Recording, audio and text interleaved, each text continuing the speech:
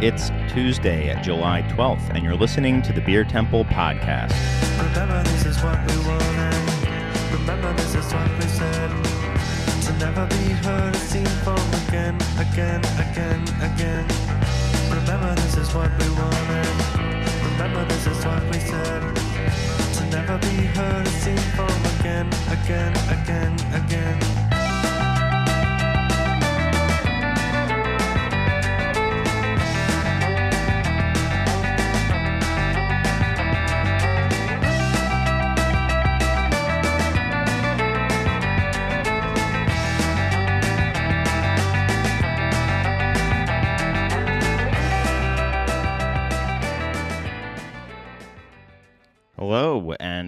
Welcome to the Beer Temple podcast. I am one of your co hosts, Chris Quinn. I am, as of right now, solo as far as the hosting duties go. Uh, I'm actually completely solo. We don't have Surge. Uh, that's why the fade might have been uh, a little bit subpar. I apologize for that, mostly to Surge, but to all the listeners out there as well. Um, we have a little bit of a different show today. We're going to be doing what we call our, our hot take history series. Um, and it's funny, it started out as Mike and I just coming up with what we could gather and then kind of just our mm, thoughts on different styles, the history of them, and how they have kind of come from the origins or what we know of the origins of the style up until contemporary versions and how kind of we can trace a path. Um, and it started out, as I said, as, as a hot take history because it was just kind of me and Mike and what we were able to kind of figure out. And you may have realized that slowly and steadily we have started getting more and more uh, contributions from people who actually know what they're doing. And that is, we're taking a, a pretty big leap in that direction. I don't know how I feel about it, actually having worthwhile information. Uh, I, I, guess we'll have to see if you guys like speculation or actual info. I hope you like actual info, but.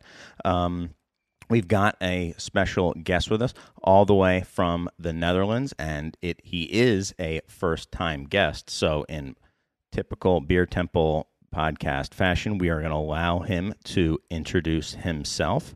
Um, and uh, with that, uh, Roel, feel free to take it away.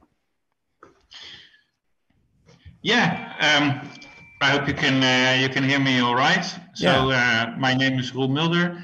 I live in the Netherlands, um, and uh, I'm a historian.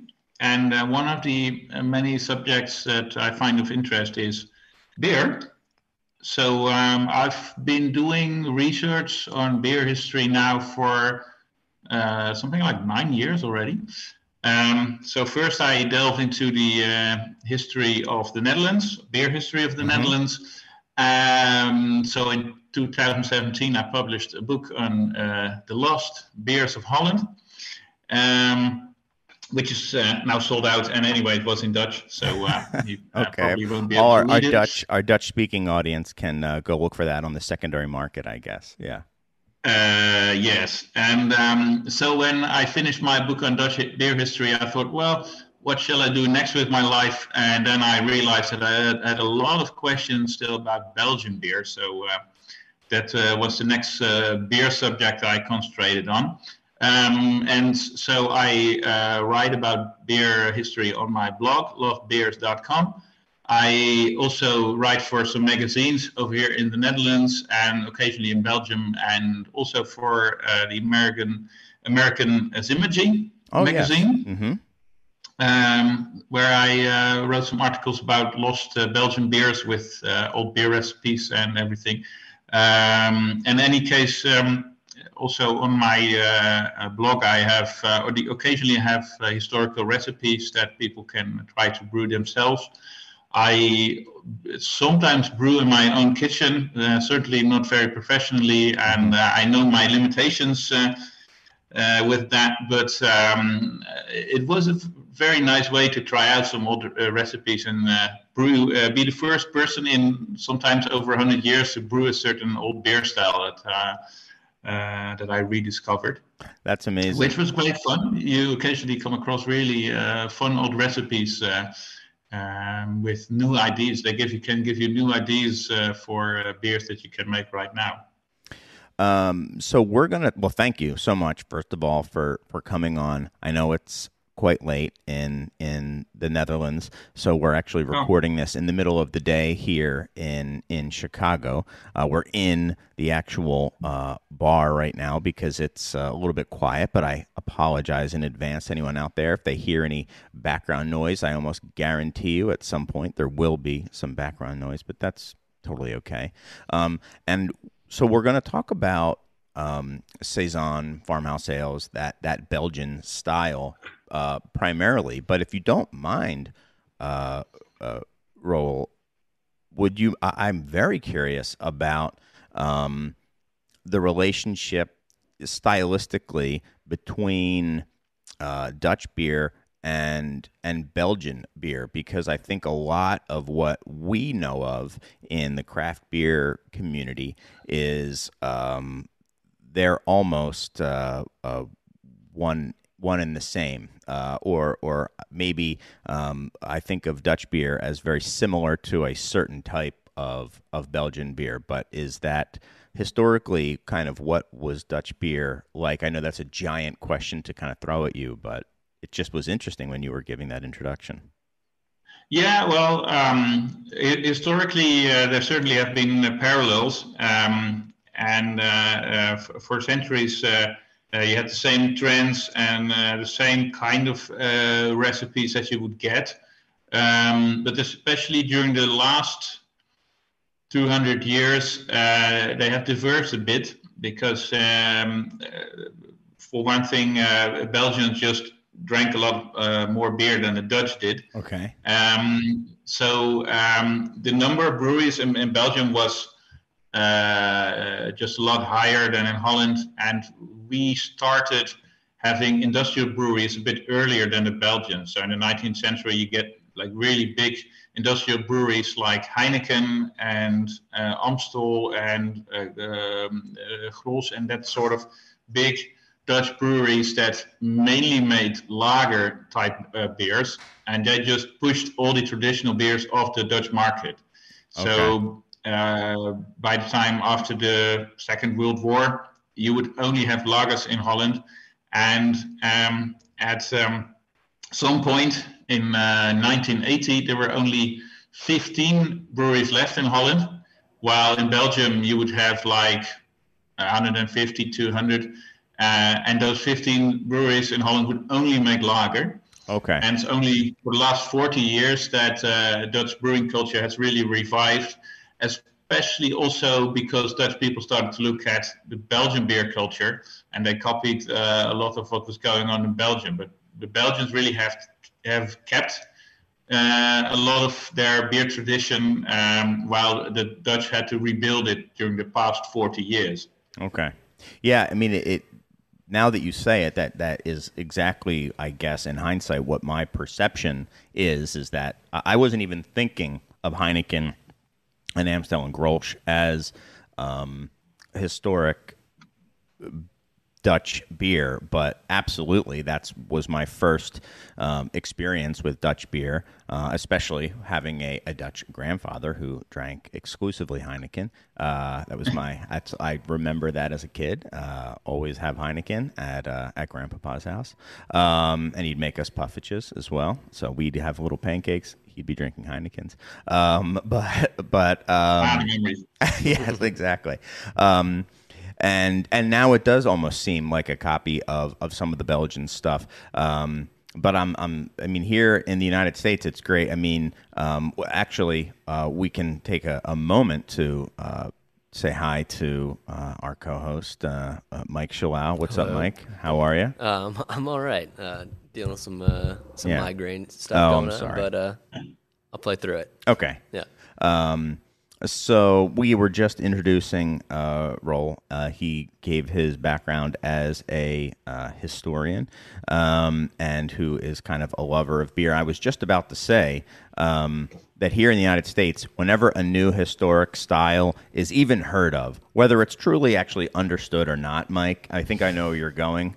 Uh, somebody just says that you know they've uh, nailed it, and they almost kind of like reinvent the style. Sometimes I feel. Um, and uh, so feel free to pass along any of these historic Dutch beers um, to uh, Mike or somebody else, and, and they'll just say, "Yeah, this is what it's like." No matter how it, no matter how it comes out. Yeah, they were double say, dry hopping back then. yeah, this is historic. This is exactly how it tasted. Um, and then uh, it's funny, we've seen a couple. I, I harp on uh, this style so much, but it's like Grisette, the style uh, Grisette um, is, I mean, to my, from what I can see, uh, one person uh, brewed it, or maybe a few people brewed it, and then now um, there's like in the U.S. community this just understanding that like this is Grisette now, and it was like, well, this Yeah. is just one person remaking the the style, uh, but I, I also think it's kind of fun that that people are just, hey, it, it's it's It- living it- again. It's, it's, it's all part of, of the beer scene that things like that happen, and it just shows you how uh, vibrant the whole thing is, and uh, how, how mu- how much people are interested in, in, in trying out new stuff. And uh, actually, uh, as far as I know, uh, Grisette was uh, um, well one of the people that was really um, doing Grisette was, of course, uh, or is perhaps still uh, was uh, Dave Janssen, an American with uh, with a Dutch uh, surname. Um, and as far as as, as far as I'm concerned, uh, he, uh, well, his reconstruction of Grisette was uh, quite faithful, uh, as far as I could tell, awesome. uh, and a very really nice, interesting beer uh, in, in any case. And Grisette is one of those things that we lump in in America, at least in like the farmhouse ale, the saison category. But it really is just pretty much always was a commercially produced product, right? Oh yeah. It was it was never yeah, like well, a thing. yeah. But that um, that is one of the things that that uh, is is very important. Of course, that um, basically everything we know about uh, historical beers is is about commercial beer Right. brewing, because that's that's a sort of kind of beer brewing that gets recorded in all sort of sources. And if on some farm people were just brewing it for themselves, it leaves very little trace, so you won't find a lot about it. Which is And a that in- makes also this subject very uh, di- uh, difficult. exactly. Uh, you've got in Norway, you've got uh, Lars Garshol uh, writing about Norwegian farm breweries, but yeah, those those farms are still there. So he just needs to visit them and write about it, and, and uh, which really fascinating stuff. But um, for um, you know, for Belgium and the Netherlands, we, we don't really have those sources. If if there uh, anything to find, we just don't really know. And this is sort of the the main uh, divergent point between your beliefs and, and maybe Yvan or some of the more romantic beliefs, right? Is that they're he's kind of more uh, faithful in the oral history of it, whereas you're much more academic in your pursuit of what do the books actually tell us were being made. Is that is that a, a Yeah. fair characterization? Well, uh, for one thing, there's absolutely nothing wrong with with uh, oral history. Right, I wasn't And uh, I know that Yvan De Baets um, had, uh, for uh, those uh, listeners who don't know him, uh, Belgian brewers. Uh, he's a Belgian brewer working in Brussels, uh, making absolutely fantastic uh, beers at the Senne Brewery. Um, and he uh, wrote an article about uh, saison history in uh, the uh, book Farmhouse Ale. Well, I don't want to interrupt, but I am going to interrupt because I think we're going to get to that in a okay. moment. Sorry. Yeah, didn't- no, exactly. it's okay. But Didn't mean to just, jump ahead. Yeah. uh, if uh, to give the listeners an idea what the hell we're talking yeah, about. exactly. So let's let's start from the beginning. Um, can we just have a, a brief discussion um, about what saison is? And I'd love for you to jump all over that, uh, Mike, and also Roel uh, because I, I'm I think they're both probably valid, but they're probably not exactly the same. So um, if either of you, uh, or I guess I could go myself, would like to just give, uh, can you like what? Well, I'll start with you, Roel. What to you is saison? Um, well, let's just get started with where, where the name comes from. Okay. Um, uh, saison is, of course, the French word for season. Um, so it originally was uh, a beer produced in what you would call the good season for brewing, winter. So you would brew it in winter and you would drink it later, usually in summer. Um, so that is basically the definition of what the name means. But of course, today uh, most saisons are just brewed year round and um, probably not kept for for uh, six months or something like that, but drunk uh, much sooner. But that's how the um, the style came into being. Um, so today, uh, a saison beer is basically if it's sort of based on the uh, Belgian traditional uh, saison beers that uh, were still around some 20 to 30 years ago. It's based on that brewing profile or taste profile. Then uh, then you could call it a saison. But um, I think it's now uh, for the brewer to tell us uh, more about that. Yes. Yeah. Well, I mean, uh, so I, me being someone who's only been alive for about those 30 years uh, and very much read that Farmhouse Ales book we were talking about, it, it is kind of that driven by that DuPont style, that Blaugies kind of Wallonian uh, uh, idea of a beer made with a characterful yeast that tends to be well attenuated um, and often incorporates some sort of non barley uh, grist um, in a very rough definition of it. Um, and then there's also the romanticism of people apply to it nowadays, where it's like the, farmhouse ale, and there's a whole argument uh, to be had about that and whether or not uh, any of that is true or necessary. But um, uh, it has some sort of level of uh, quote unquote rusticity to it as well, where it's not perfectly clean or perfectly, uh, not that it shouldn't be clean, but there's some sort of uh, I don't know something you can I I perceive it as something you can kind of grasp onto and hold onto as opposed to like a very slick macro produced beer. And it's interesting. Um, it it sounds like saison. Well, whenever I think of saison, I think of of definitely a specific profile and style. To me, it is um, without a doubt um, uh, Belgian, not just literally, but it fits into the whole profile of many other Belgian beers. But was that always the case, or was it was it really just a a term for beer that was brewed in in the the brewing season? Uh, you know, winter brewing saison, or or was it always um, did it always have a, a, a, specific style that differed from maybe other beers of the time? Um, do we know anything? Do we have any answers to those to those Yeah. questions? Yeah. Well, um, uh, yeah, we do have the answer to that actually, because um, if, if you look at uh, the historical sources, uh, which I did, so I looked at all sorts of books and uh, articles and um, advertisements in newspapers and whatever I could find uh, on the subject. And so you first uh, you get you first you get in the 18th century in Europe, so in Belgium, in Holland, in uh, England, you get beers that are kept for some time. So uh, that's when you really get we brew something in winter and we keep it for a long time, maybe Sure. even a year or longer. You get really get keeping beers. Right. So um, that's in the 18th century. You get beers that are called old beer or old brown beer or um, uh, provision beer, uh, stuff like that. And um, uh, uh, you even get like uh, uh, the, the lambics of, of Brussels.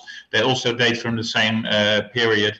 And actually, Saison uh, is, is quite late on the scene. The first time that I found any beer called Bière de Saison uh, in French uh, was in uh, 1823 in uh, the city of Liège in, uh, in uh, uh, Belgium. And um, in the 19th century, you really see that uh, Bière de Saison is just a very generic term for any beer brewed in season and that you drink later on, usually in summer. Um, so if in uh, the city of Liège you get um, uh, a saison beer, it basically is just a keeping version of the beer they already had in that in that city. So in uh, Liège, you would have uh, uh, the, the simple style of that city was just uh, a, a very peculiar beer, actually, with a lot of spelt malt.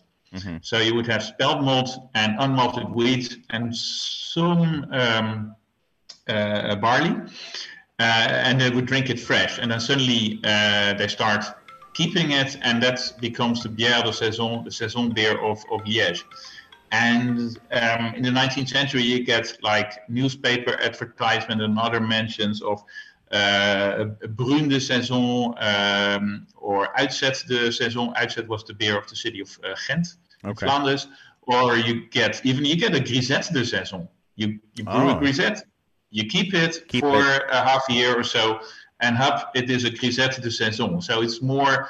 Uh, uh, in the beginning, it's just a term to describe another beer that you keep, and at the Very time English it was in a way, yeah. yeah, it was it was really interchangeable with. Uh, you get uh, uh, beer could be called a bière de saison, but keeping beer uh, could also be called in French a bière de garde, uh, which is we now know, uh, especially from France, uh, bière de provision, uh, provision beer, or they would just call it old beer. Um, and in the beginning, it really describes another beer that they brew, and then uh, they brew it for keeping. Uh, they brew it in the se- the season, and then it is a uh, saison beer. And that that's what you really find in the 19th century. And basically, if you look at the brewing literature in Belgium at that point, uh, or at newspaper ad- uh, adverts or any other sources, that well, 95% of the time, if, if you get if uh, if you get people talking about the uh, saison beer in uh, in uh, in Belgium in the 19th century, it's usually about the saison beer of Liège. So this spelt beer, uh, which is not really like um, the the saison that we know today. Um, I don't think that our modern saison descends from it. Um, But that's the saison they usually talk about in the 19th century. Um, and um, uh, it's, you must uh, Liège, the city of Liège, Liège is on the other side of Belgium, uh, where we um, find uh, saison today. Uh, so today, the, the Dupont Brewery is in the province of Hainaut, in the west of Belgium, and Liège is to the east. And there's some considerable distance uh, between uh, the two, and um, it, it really is another region. It's uh yeah, go on. Sorry. Um, but yes, and it's it's really weird that um, you, you just start out looking for uh, saison beer and you find it in the wrong re- uh, region, and then worse after the First World War, uh, a lot of breweries in Belgium modernized, and in Liège they just stopped making it. Interesting. So it It, just it just yeah. The war like many other things kind of disrupted um Yeah. so much of that of that part of of the world. Um it's it it's fascinating to me. So it it's almost like where and and Mike, please jump in if if you've if you you disagree, but just it it sounds like almost there was this style which was more of a well a keeping beer, uh, very much like uh, it, how beers were classified. It seems like universally now, or, or in, in Europe at the time, uh, it wasn't just an English thing. It was just how you classified uh, different beers. This one's for keeping. This one's for drinking. Um, you know, this is a young beer. This is a Right. keeping beer. That uh, died away Right. as as it did. Uh, much slower and not fully in in England, but that's not as nearly as popular now. And it almost then arose as a completely different style or maybe a sub style or a variation of that version didn't die and that became I guess the ancestor to to what we now know Sure. And I think like when we talk about style, we have to remember a lot of that stuff is kind of ex post facto. Like when they were making these beers, they weren't like, I want to make a XYZ thing that will fit the BJCP guidelines. So it was more that like people, you know, grouped things together when they were being produced in certain areas and uh, and then the style grew from that rather than from uh, defined like oh it should be well attenuated and all that stuff. So um, it is interesting that to see it migrate and then for it to become the beer that it is now, which it seems to have been something like this since the early 1900s or so. Is that roughly where we Yeah. see see Yeah. the kind of modern uh, understanding of the pale attenuated phenolic beer rise? And I, I also, before Oh, uh, sorry, I didn't mean Roel push it. answers that, no, I just like to interject and interrupt and, and derail things. But it's uh, it, it is also something that as we do more of these, um, especially with Belgian beer, I get this feeling time and again that these uh, stylistic um, descriptors or definitions are put upon Belgian beer that of all the of if I'm talking about maybe you know the big brewing nations of uh, uh, Belgium, uh, Britain, and uh, uh, Germany, that the Belgians are the were the least concerned with um, you know sticking to a guideline, sticking to a style. Obviously, they wanted to stick to their recipe, but certainly today, you know, uh, kind of the famous quote is, you know, what is Orval? What type of beer is Orval? And the answer is it's Orval. It just is what it is. And the Americans cannot handle that. We cannot deal with it. We have to define, we have to categorize and define. And I think we took what Michael Jackson, the beer writer, Right. you know, would, would try to describe these things to people who've never had them before. And so he had to kind of define them a little bit and invent a little bit. Yeah, it it sounds kind of famously, it kind of just invented uh, right. styles of I've- many sour styles. ale. and- Oh yeah. And then we took it as the gospel, and Right. now we've created right. guidelines according to it, and that just cracks me up. how, um, you know, we're just picking a, an example and be like, yeah, that that one over there, that's that's the definitive style, and if you don't brew that, you're not making a saison. And you know, the reality is somebody. Hypothetically, could be like, well, I was making it hundred years earlier on the other side of the country, and it's Right. nothing like that. you know, so I'm sorry, but I, I, I interrupted your your your flow. Could you ask the No, question that again? was more just like, and then when do we see the uh, the style as we consider it now kind of appear um, in your research? Yeah, well, it's it's it's kind of hard to say, um, but um, you, you get some brewers in in uh, the Hainaut pro- province producing something that's called saison sometimes in the 19th century, but it's not really ever really defined. That that's the, the weird thing with, with other beer styles. You have lambic, you have gueuze, you have um, Flemish brown, or or other beer styles that have disappeared. The- You usually find some description of them uh, in uh, brewing literature, and of uh, saison in the province of Hainaut, you get net, next to nothing. um, and so, weirdly, one of the um, most telling um, sources on Hainaut, sa- saison is our, our beer labels. There's a fascinating uh, Belgian website uh, run by a, a guy called Jacques Trifin, uh, who has just uh, collected an amazing uh, amount of, of uh, historical beer labels and he put them all uh, online. And you can just look at those labels and tell from that from okay, so those breweries were apparently uh, brewing saison at some point. Um, and also, uh, you get this, um, uh, especially saison label uh, labels. Oddly, they give a description of the beer. Um, so um, most of these labels uh, date from after the First World War. So while in Liège the saison disappears, uh, in Hainaut, uh, for some reason, the saison appears. Um, but it appears as a completely different beer. And if you look at those labels, those historical labels from the 1920s and 1930s and, and also the 1950s, uh, they're really weird because the one impression you get from those saison labels is that it's a luxury beer. That it's it's it's all like uh, serve this beer like uh, uh, at room temperature, like a fine wine. It was um, uh, kept in our cellars, as, as serve it in a basket. um, and like you would serve uh, a, a good uh, Lamb goose. or gueuze, yeah.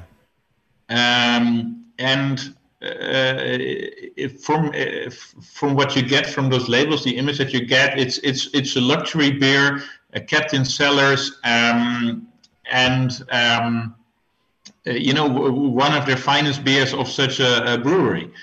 Um, but that's one of the few sources where you can actually get a description of those uh, those beers at that time.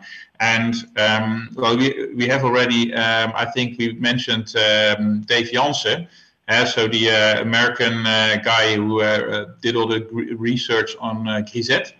He also did some research on on Saison. It's a very interesting website he has. It's, it's called um, Hors Categorie Brewing.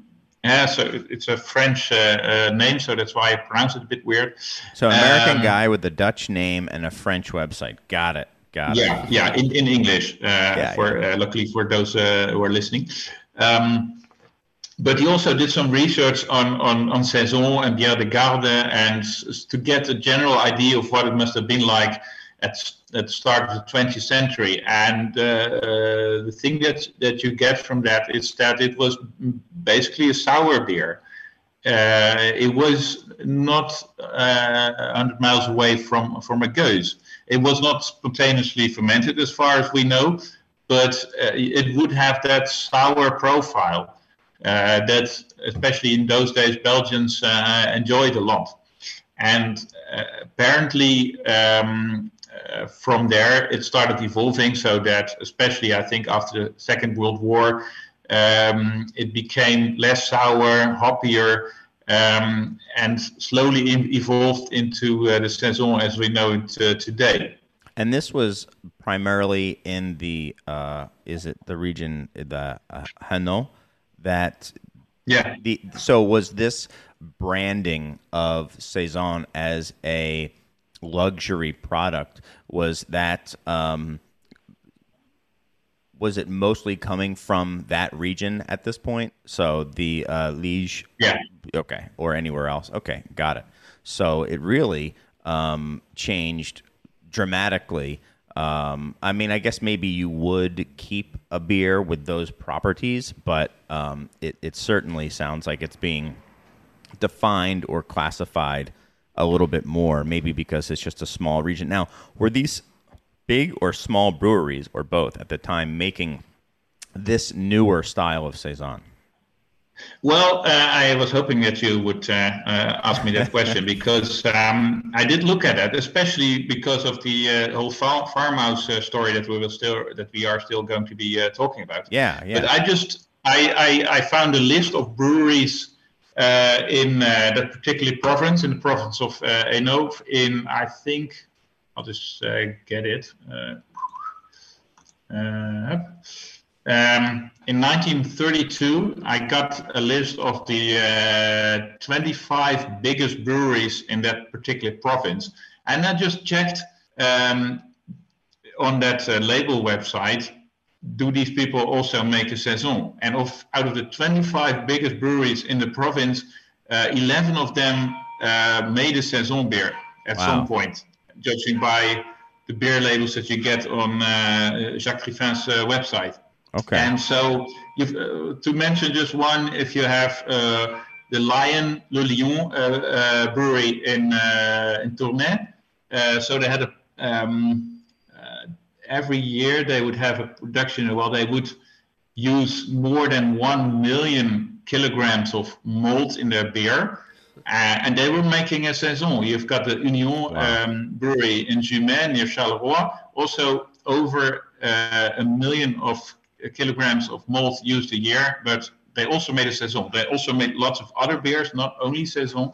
But these were really, really big enterprises that also made a saison.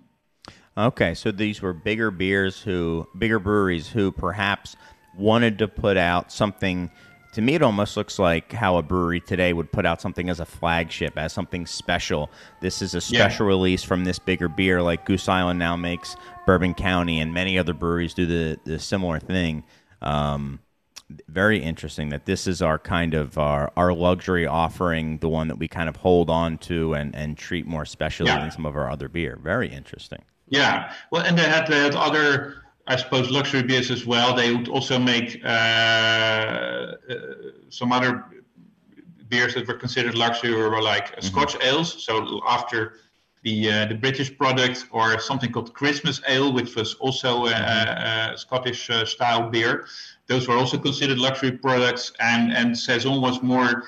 Uh, their, I think maybe their answer even to gueuze as far as we know. It's very hard to tell why they produce Saison. I, I still hope to find some documentation on that. From why do they choose to brew it and for whom, and what what what's uh, products what sort of product is it supposed to represent on the market? Wow.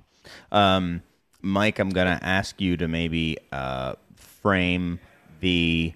Why don't we get into the um, the Phil Markowski book and stuff like that? Because I don't think you can really talk about saison too much more if we're ready to get there um, without talking about that that book. And I think as we talk about it, we'll also probably talk about the introduction of saison into America because I think those two are, are linked pretty pretty closely. Before I say that, uh, we may have to have uh, Roel on again because the Christmas beer being a Scotch ale inspired beer is blowing my mind, and in hindsight, it makes A lot of so sense. much sense. It makes It- so much sense. I feel like we should do a whole Christmas It was- it was- oh my gosh! Yeah, It, it was uh, researching Belgian Christmas beer was just another thing that I was high on my wish list, and um, I, I also uh, made a blog on that on my on my website. So just uh, to, a really short history of Christmas beer in Belgium. If you look at the sources that first mentioned Christmas beer, well, if you look for sources in Belgium, you have to uh, search in two languages because in Belgium they uh, speak uh, uh, Dutch, uh, Flemish, uh, and they speak French. So when I was started looking for Christmas beer, I thought I had to uh, search for Kerstbier in Dutch or uh, de Noël in French. But lo and behold, the only beers that I find were in English. At the end of the 19th century, in, in Charleroi and other places, you get like advertisements saying Christmas beer in English. So they market it as an English beer. made made by a Belgian brewery though, not an import. at that time often uh, imported from Okay. uh, Britain, and very often uh, you will see it is just Scotch ale, so um, pretty heavy uh, brown ale um, that they just rebranded as Christmas. And you get lots of sources telling you uh, this Christmas beer is a Scotch ale, and that's how Belgian Christmas beer came to in, came into being as an important Scottish beer that then, of course, uh, Belgian brewers started to imitate themselves. Amazing. Yeah, amazing. Which, which also tells you how, how open Belgium was to foreign influences. They copied a lot of British styles, eh, like pale ale, Scotch ale, or this Christmassy thing. Uh, a lot of brewers also made stout at some point. It's almost died out now. Uh, and they were also very open to, of course, uh, German style German, beers, yes, to yes. lagers and that sort of stuff. That um, Hey, it's it's it, it, Belgium was really a, uh, um, a a country. Well, they just drank a lot of beer, and they Belgians like and they yeah they liked and they still like a variation. They like to drink different beers. Um, and they have table beers, which is really weak that you can drink during a meal. And you have like really heavy beers that you can uh, drink at the pub or just for yourself or at a party. And you have this entire range of different beers that Belgians really have uh, enjoyed a lot. And that's why there are so many beer styles in Belgium out there. And even then, a lot of beer styles have died out, but they get replaced by newer ones. Uh, and my personal fanta- uh, my, my personal uh, theory is also, but I, I I really don't have any proof of that, and I Love it. love That's what the show's all about. Yeah. my personal my personal uh, favorite theory is that um, the Trappist double beers Mm-hmm. were also uh, modeled after Scotch ale. That's where my mind was going. as soon as you that said that they of did a lot of Scotch ales and, and Christmas ales, I was. That's exactly where my mind was going. Um, exactly when in your, in the 1920s, when Scotch ale and Christmas ale and that sort of stuff was really popular in Belgium, that's when the, the Trappist monks of uh, Westmalle start brewing uh, th- their variation of, of double. ah, very cool. but very that, there. I've no proof of that. Uh, I would love to have uh, have some confirmation of that, but I don't. Well, in the in the you in the American craft brewing tradition, I will say that it is officially canon and undisputable that that, that is the case now. Um, Well, it is interesting to think about these things that we think are so canon and so ancient and so old. Uh, at one time, were new, right? And they were Right. trying to get some sort of market share, uh, or may, maybe they just liked those Scottish beers. But it seems like they were trying to get people to drink their version of it, Right. And that like it's not like these things were primordial and they came out of the ooze and they've been ma- being made Right. ever since uh, the dawn of time. completely organic and in a and isolated from from all external influence. You know, Right. Which is where I think That- we that like. is- Yeah, we like to With those, that's, that's another great beer myth, of course, those Belgian Abbey beers.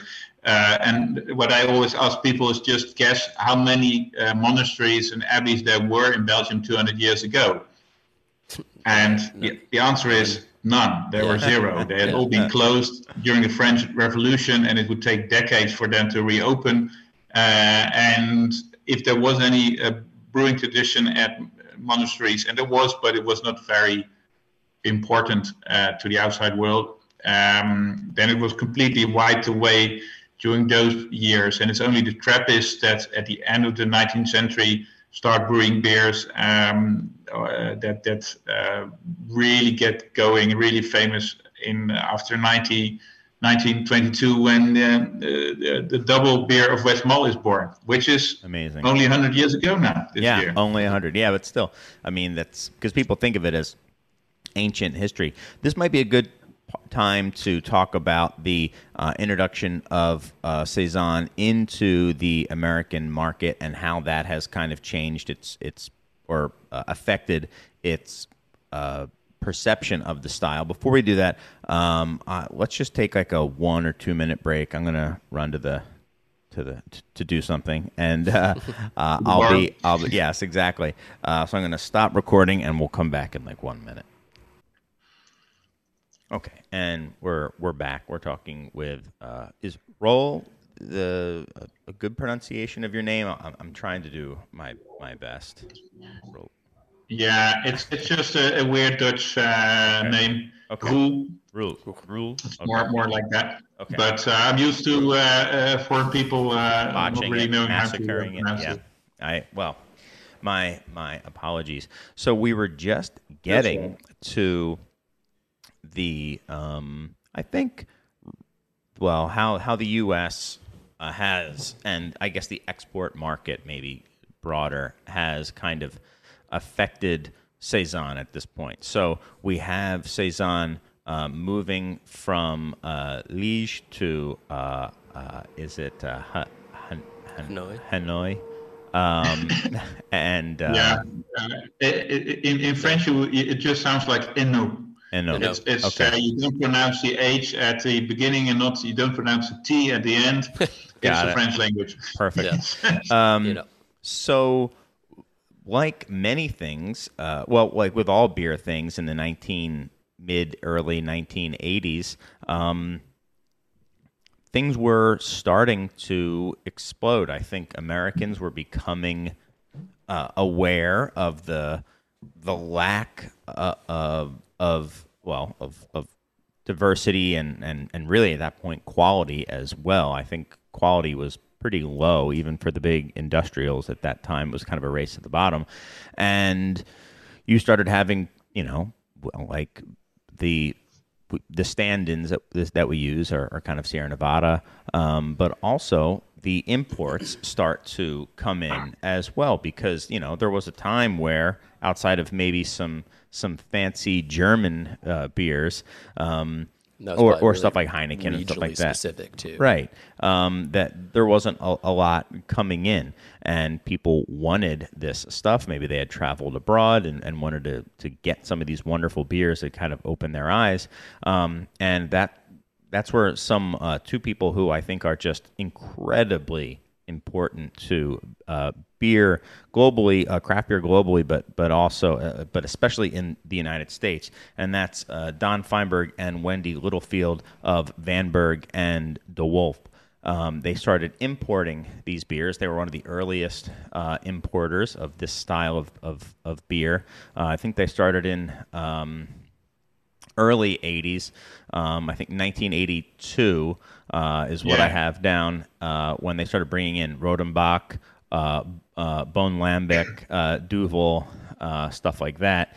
Um, and a few years later, in 1986, the first Saison is imported into the United States. And there's, I think, a good reason why we think of this beer as the archetype. Um, Yeah. It's because Guys, it was the first. drinking right now? Yes, and that's what we're all drinking right now, which is what is it? What are we drinking? Yes. We are, of course, drinking a Saison Dupont. Yeah, Saison Dupont. So that was the first to come here, and I'll take a sip. S- Still the standard bearer, I would and say. And still absolutely the standard bearer of Oh, yeah. of the style.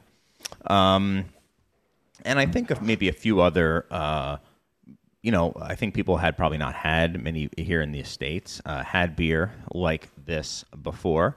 Um, it became quite popular, um, and they, I think, uh, Vanberg and DeWulf opened a a brewery, Omegang, in '97, and it kind of inspired some other breweries. I've got, you know, Jolly Pumpkin down here as one of the more rustic Belgian-inspired breweries that that kind of was the first, one of the first to to that space. Um, and right around that same time, um, Ray Daniels, friend of the show at Brewers Publication, I believe he was in charge of Brewers Publication at the time, Yep. put out a series of beer uh, about uh, Belgian uh, beer. Uh, specifically, I think that there was one on Abbey beers. There was Pe- Brew Like a Monk, which is the Abbey beer. Where There was Wild Brews, which Mm-hmm. Yep. was the kind of Lambic, spontaneous yeah. lambic one. There was Farmhouse Ales. Yes, and Farmhouse Ales. Um, and that was the Saison uh, brewery. Um, and Saison and, and Bière de Garde, specifically, of what the- Yes. that book encompasses. Right. Um, and it's funny that it was called Farmhouse Ales because I didn't know this. You have it in our show notes uh, Roel that Farmhouse Ale was invented, is a term invented by Feinberg uh, when he started introducing uh, DuPont. Um, so if that doesn't show you how DuPont had has cemented I didn't know that. um, yeah, me either. Um, had had cemented this this idea, um, this book. I mean, even today, when I was looking up history of saison, saison history articles about it, I could not find one, a single article that does not reference that book. That book came out in 2004, Yeah. Farmhouse Ales by Phil Markowski. Uh, still, I believe, the head brewer at Two Roads yep. um, and uh, and a historical introduction, like an extended introduction by the whole ha- the whole section, like half uh, yeah. the book, is essentially written by Yvan Yeah. Bates. yeah um, of uh. And I was drinking earlier. I didn't say it. I was drinking a Taras Boulba from uh, Yvan. It's a good beer. So yeah, it's great beer. So um, so that's kind of where we are. I would love to. Um, uh, not that you have any, you may or may not have any uh, knowledge of it. I mean, that's probably a question for Don, someone I've been saying I need to get on this show. Uh, this invention of farmhouse ale. Do you know anything about the how and why of it, or or anything about where this term came from, and and uh, and why?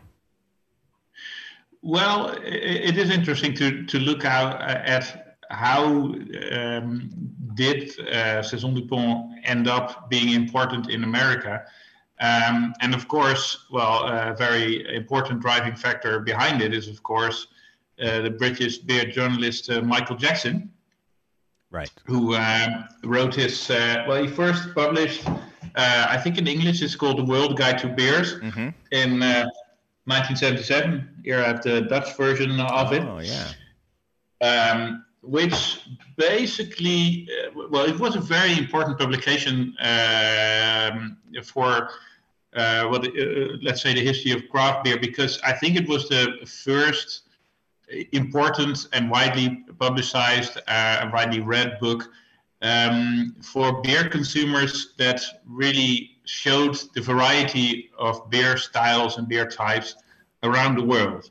So uh, if you read it, uh, it was also published here in Holland in the in 1977. And if you read it, you for, for the first time, uh, you would uh, learn that there were beer styles in England or in Germany or in Belgium or in America or, or Scandinavia or wherever. It even has a section on Dutch beer, very short section, of course. Um, and people were certainly were aware of the great variety that was available um, uh, in, in, in all the countries around the world. And um, it didn't start that, um, that, that development. You already had uh, in Holland, it started earlier in the 70s, for instance, that you would get pubs that would basically, uh, the people would just drive to Belgium every weekend, buy a lot of beers, take it back to Holland and sell it, sell it in their pubs because people find that Belgian beer so incredibly interesting and so much more variety was available there than was here in Holland. And in England, you had already people um, aware of beer history and beer heritage. And, um, uh, Michael Jackson basically he, he, really wrote the right book at the right moment, and that was a very important thing. And of course, Jackson really was in love with Belgian beer, and he um, next he published a book about Belgian beer only. That was, I think, in the uh, 19. Uh, 92 or something like that. But he also played a very important role in uh, getting Belgian beers exported because I think, if I'm not mistaken, it was Michael Jackson who told Don Feinberg, "You really should check out this little brewery in uh, in the Hainaut mm. province." Um, and it is important, I think, to stress uh, where Saison was at that time. As I um, uh, told you before, in the 1930s, there were lots of breweries in Hainaut uh, making uh, this beer style, also big breweries. But by the 1980s, the number of breweries in Belgium had really dim- had diminished a lot. I, I think that um, in the 1920s, there were maybe, I, I guess, 2,000 breweries in Belgium. And by 1980, there were 200 left. Still a lot, right? Still a lot of variety, still a lot of traditional breweries, but really the number had really diminished. And if you look at what breweries still existed in Hainaut, basically only small ones. Um, actually, the biggest uh, breweries at the time in Hainaut were um, uh, there was the Glen um, brewery that just made a lot of Jupiler pills. Um, and you would have the Trappist at Chimay were actually quite big. Um, and then you would have a lot of small breweries that were still left in the countryside like um, Dupont and, and some other ones. And those small breweries, for some reason, just managed to survive making uh, relatively small amounts of beer. And they were the last breweries still making Saison. So before you had like big breweries in cities brewing Saison as well, but they all went bankrupt or started making other beers. And the more conservative small breweries in the countryside, they were still making Saison. So I just looked up which breweries were still making Saison in the 1980s. Well, you get Dupont, you get uh, Du Bocq in uh, Namur province. Uh, you had the Vapeur brewery, mm-hmm. uh, Voisin, Silly, Lefebvre. Um, Lefebvre was actually new making that. And you had Allard Groetembril that made a Vieille, which is similar.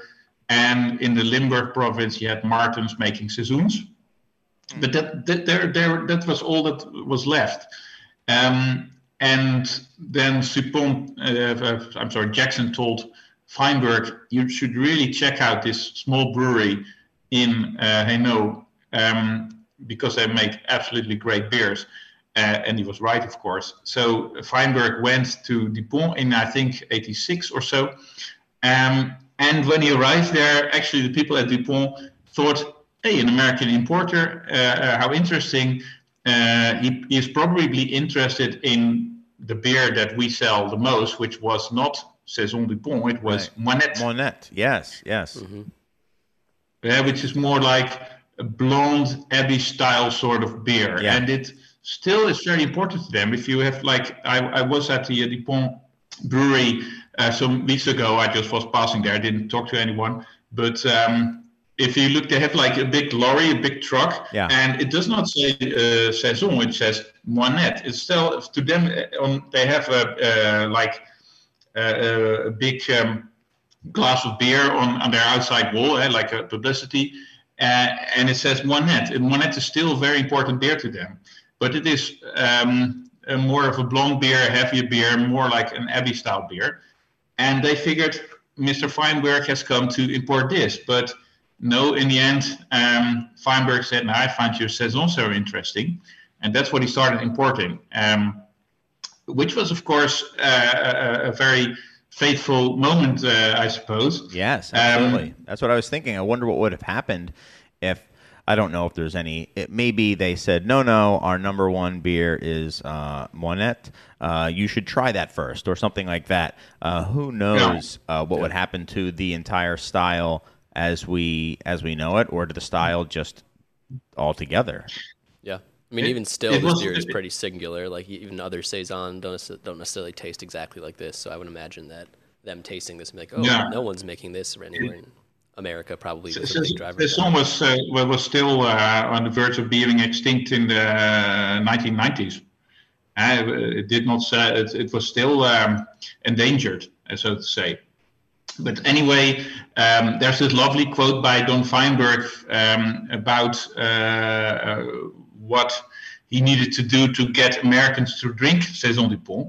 Um, and now I'm quoting, I, I think it was on a website where they interviewed him, um, but I have to look it up where I got it from. But um, then to quote Don Feinberg, um, when I first imported Saison Dupont, beer lovers stateside did not get the brew. It was nothing like anything they had been exposed to previously. People ask, is it a wheat beer? Is it a lambic? And I told them it was a hoppy farmhouse ale. Ah, End quote. okay. So to to get Americans sort of to understand what sort of beer is that is this, he uh, told them it was a, a farmhouse ale. Um, and if you visit the uh, Dupont Brewery, you will see that it's, it's located in a very rural place. It's it's a really uh, small village where they are, Tourpes. Um, and though their their they um, their buildings are uh, well, not excessively big, but they um, have a lot of uh, buildings. But it's in a really small village, and they have some old buildings. And yeah, you could mistake it for for a farm. And I think at some point they were also still farming, and so they did combine um, the uh, the enterprise with with uh, some farming at some point. Though um, I, I don't know when they stopped doing that. Okay, and was that typical of these uh, of the breweries that were still brewing saison as of the 1980s? Um, were they brewing like strictly brewing concerns, or were they, um, you know, brewing was just one of the things that they did to kind of uh, uh, subsist uh, at that time?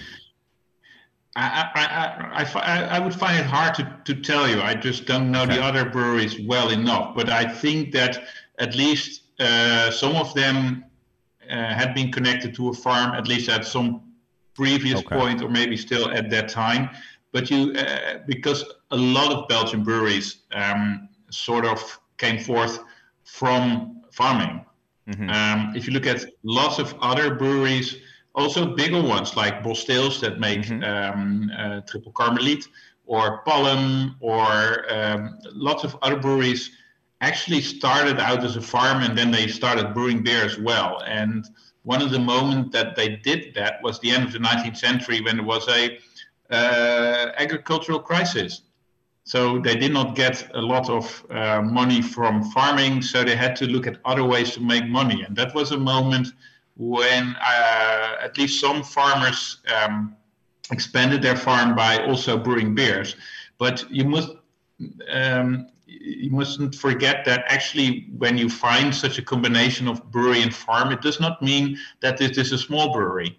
Um, because um, I actually um, looked it up in um, if like um, a dictionary or address guide of, of uh, French and Belgian brewers in, I think, the nine, 1901 or something like that. And the Dupont brewery is actually in there. It was not called Okay. that way at uh, that time. Dupont uh, would only take uh, over the place in 1920. Um, and I have to look it up. What was it called? And because I, if I'm not mistaken, um, yeah, in 19, um, 1901, the Rimaux-Deridder brewery in Tourpes, which we now know as uh, Dupont, they produced no less than uh, 6,500 hectoliters Okay. which is Wow. above Yeah. average uh, in Belgium of the time. The, uh, the average brewery in Belgium would make 4,500 hectoliters. Okay. So even then, it was uh, actually quite a big enterprise. yeah. Uh, and they had uh, a steam engine running in a brewery already in the 1860s.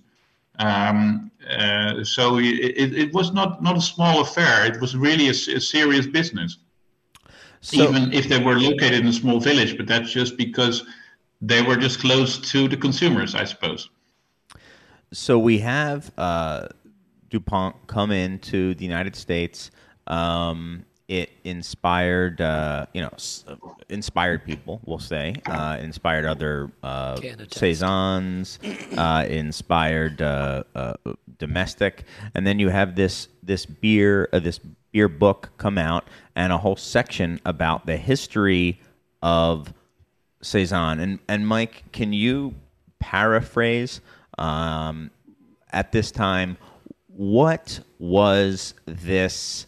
Um, what was your general feel for what it was? So I don't want to. I don't want to have to put it on you to quote exactly what Sure. was said, but like. I- have a very specific like feel for what I got when I was reading it. Yeah. And what was your your feel for the history and what this beer was historically um, at that time as you were reading it? Like, what was it? Uh, I think it it was kind of posited in that book that it grew out of a beer that would be brewed on a farm uh, to sate the saisonniers, the the uh, seasonal workers that would come to the harvest. So they would take their grain and either they would brew it on the farm or at some communal local brewery, and then they would brew it in the winter when they didn't have the you know they couldn't be harvesting or planting uh, in that season, and then they would keep it for the season when the saisonniers came back. Um, and that it would be some sort of lower ABV, Right, yeah. uh, a Gatorade, working beer. Yeah, yes, yes. Uh, way to get potable water and some semblance of calories into people who are working in the hot sun all day. Um, and it was a very romantic picture that was that was Absolutely. painted, and uh, yeah. Yeah, and and it was romantic, and I think it was I think- very uh, uh, effective. Makes it seem so calculated. Um, Well, it, I, I've read all of those books, and not to disparage any of the other ones, but beer writing, and especially ones about like style and then kind of how do you make this, can be dry to say the least. Right. Um, and that was one of the few books. First, also the shortest book, which I think might have had a, big reason why it had quite an effect on American brewers. Is like, oh, I can read that one. I can rip through that. Um, and you can you can read it in a day. Um, but it was also more much more of a romantic narrative than any of the other books were. And in the, even the Trappist ales or the Wild Brews, these were more just like then this happened, then this happened, then this happened. Whereas this one was kind of more painting a picture of this pastoral life. Um, and and I know that uh, there might have been, you know, uh, Yvan has done further research since then. But can you just go back to your reading of of that and your kind of diving into it and what you first experienced and wh- when you read it, uh, Roel, and as you started to dive into the history, what you found about that um, I- idyllic, almost fairy tale uh, uh, history of of Belgian uh, farmhouse ale. Yeah. Um, well, um, uh, yeah, where to start? well, at, at least uh, I uh, sort of already told you what uh, the sources that I found were saying. So that's uh, why I find it so um, uh, striking that when I read um, farmhouse ales and, and Yvan de Baets uh, contribution to it is that it was a completely different to all the facts that I had found already. Um, so basically, what I started doing is um, uh, Yvan de Baets had, had actually convinced the publisher to include all the uh, footnotes mm-hmm. uh, with the um, with the article. They were actually not going to include it, but he said, "No, I really want to include uh, the sources where, where I got all this from, which is uh, very commendable. Yeah. Uh, and basically, I started uh, looking up all those sources. So where, where, did, where did he get all this from? And then I realized that very often those sources were just telling a really different story. Um, um, and what happened, I think, um, is that the, the whole uh, a, a story that um, saison used to be brewed for the for the saisonnier, eh, for the farm workers. Um, you don't get it anywhere in any source prior to the 1980s. Um, and it probably originated at Dupont or maybe maybe at, at Brasserie à Vapeur, had a steam brewery, uh, which uh, for those uh, uh, listeners out there um, really merits a visit. The Brasserie à Vapeur is a steam brewery close by to uh, Dupont, and it's absolutely fantastic place.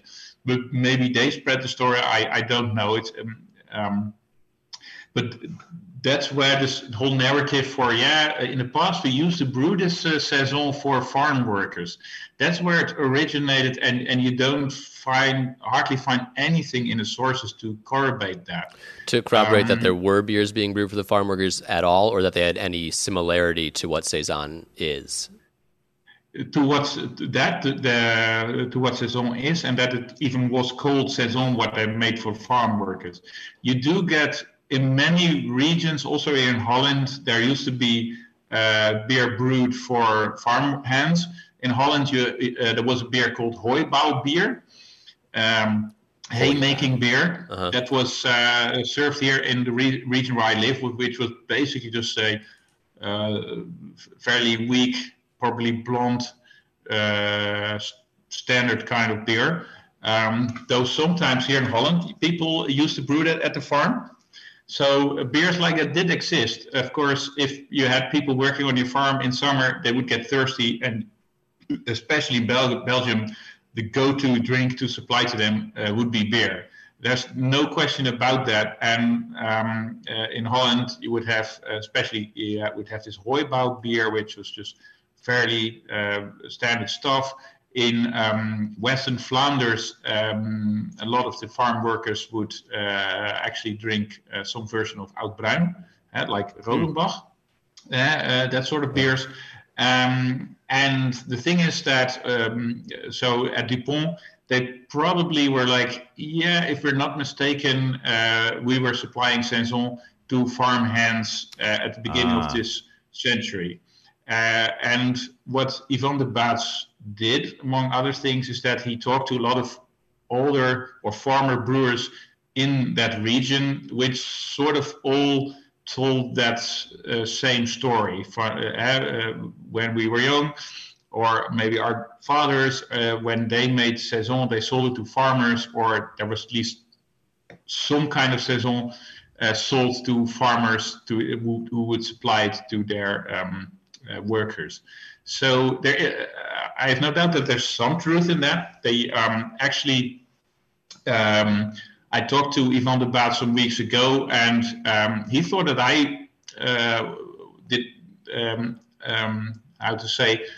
He thought that I didn't like the fact he had that he had talked to old brewers. I, um, and I said no, that was very important. That this oral history, talking to people that can tell you things that are not in the sources is, is, is, is very important. And I would have loved to have actually read more on that um, uh, sort of thing that um, uh, uh, about his interviews with brewers. So uh, undoubtedly, uh, some kind of saison was supplied to farm workers in that particular region uh, about 100 years ago. But um, as we've seen, uh, it's clear that Saison was just a lot more. That there were was also a luxury version of Saison, or maybe the, the beer supplied to to farmer hands maybe wasn't called Saison.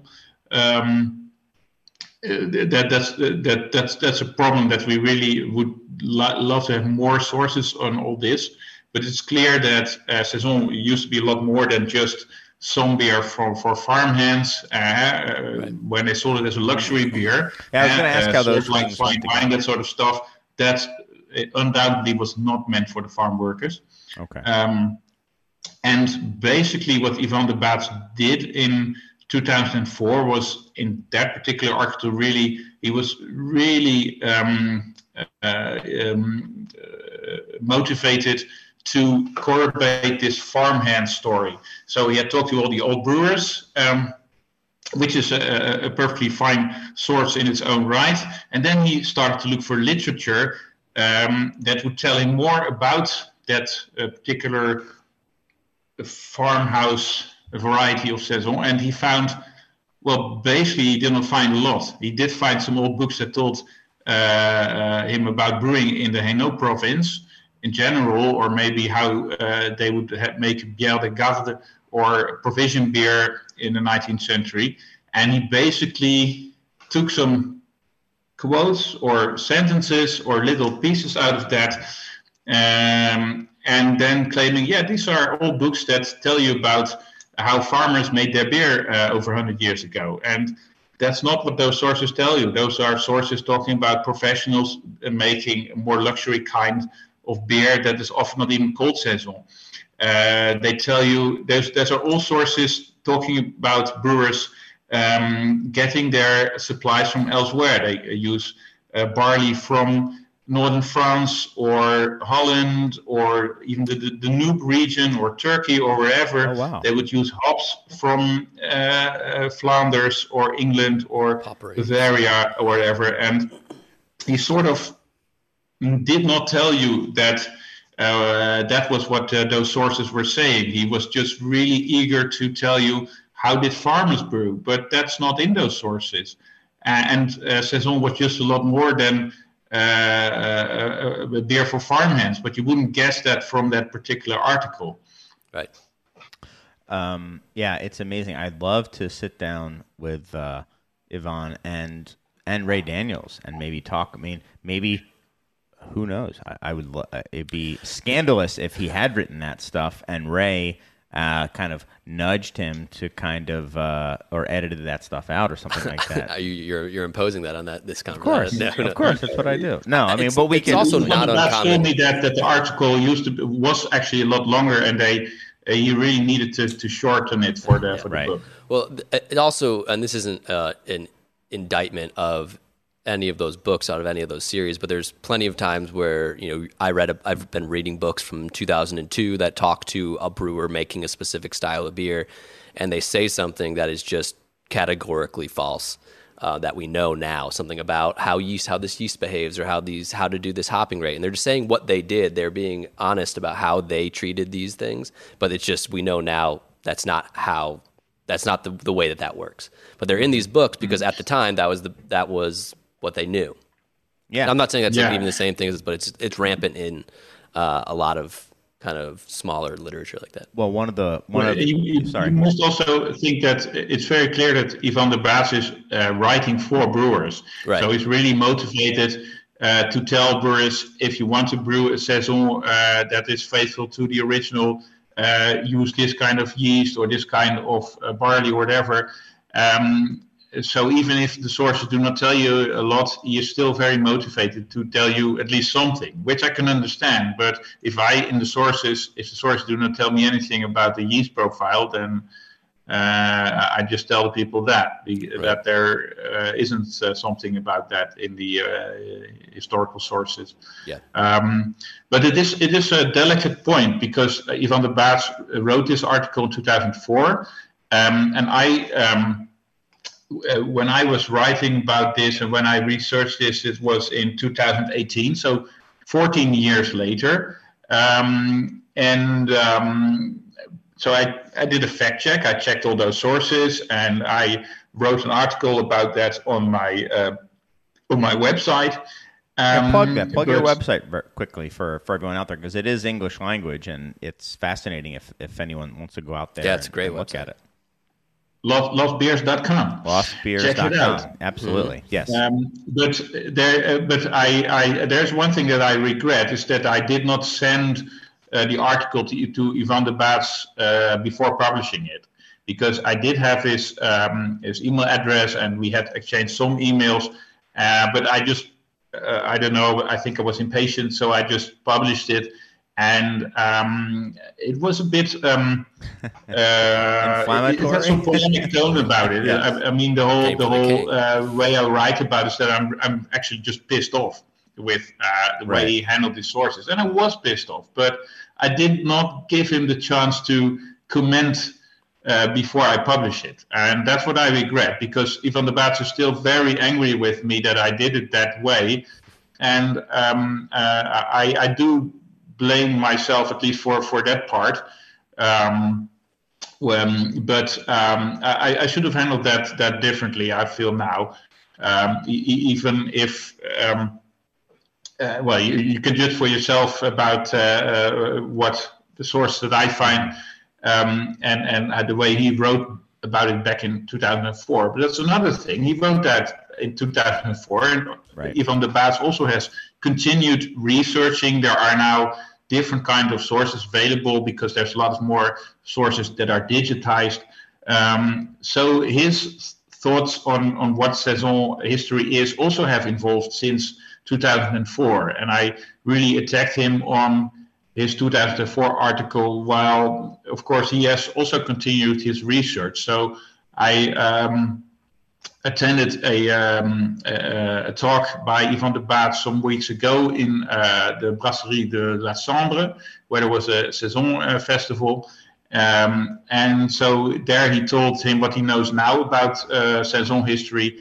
Uh, and it was a, a much wider perspective, and that he also acknowledged that you would have these luxury beer uh, labels and that there was a Liège Saison once and all that sort of stuff. So um, I, I, I, was a bit unfair in my article just attacking him on uh, what he wrote in 2004, even if uh, that article was flawed. Mm-hmm. Right. So it is a bit of a delicate thing. Sure, and and I, I can't speak to the uh, accuracy of the content. Obviously, I'm no historian, um, or or and, ha- and, have no rigor for those things. But I can say that I've read um, dozens upon dozens of books like that written for brewers and written for specifically those books are written for American brewers to try to understand uh, or recreate or create a product. Um, and there isn't a single one that anyone talks about with any sort of like twinkle in their eye except for that one. So while the, the facts yeah. might not have been perfectly straight, it did inspire a lot of people, which um, you know, yeah. there's something to be said for that. Like no one's no one's ever talked to me about how great the the Kolsch book was. That's like equally thin, right? It's like about 80, right. 80 pages, but it's just very dry and very straightforward. Right. And um, it, while it's unfortunate that maybe some of that information wasn't the, the whole story of it, I, I think that that book has had such a profound effect, and I think for the positive. Yeah. Um, and I yeah. think you're, I, I, and I'm, i think you you were you were agreeing and saying that is uh, you know it is an important book.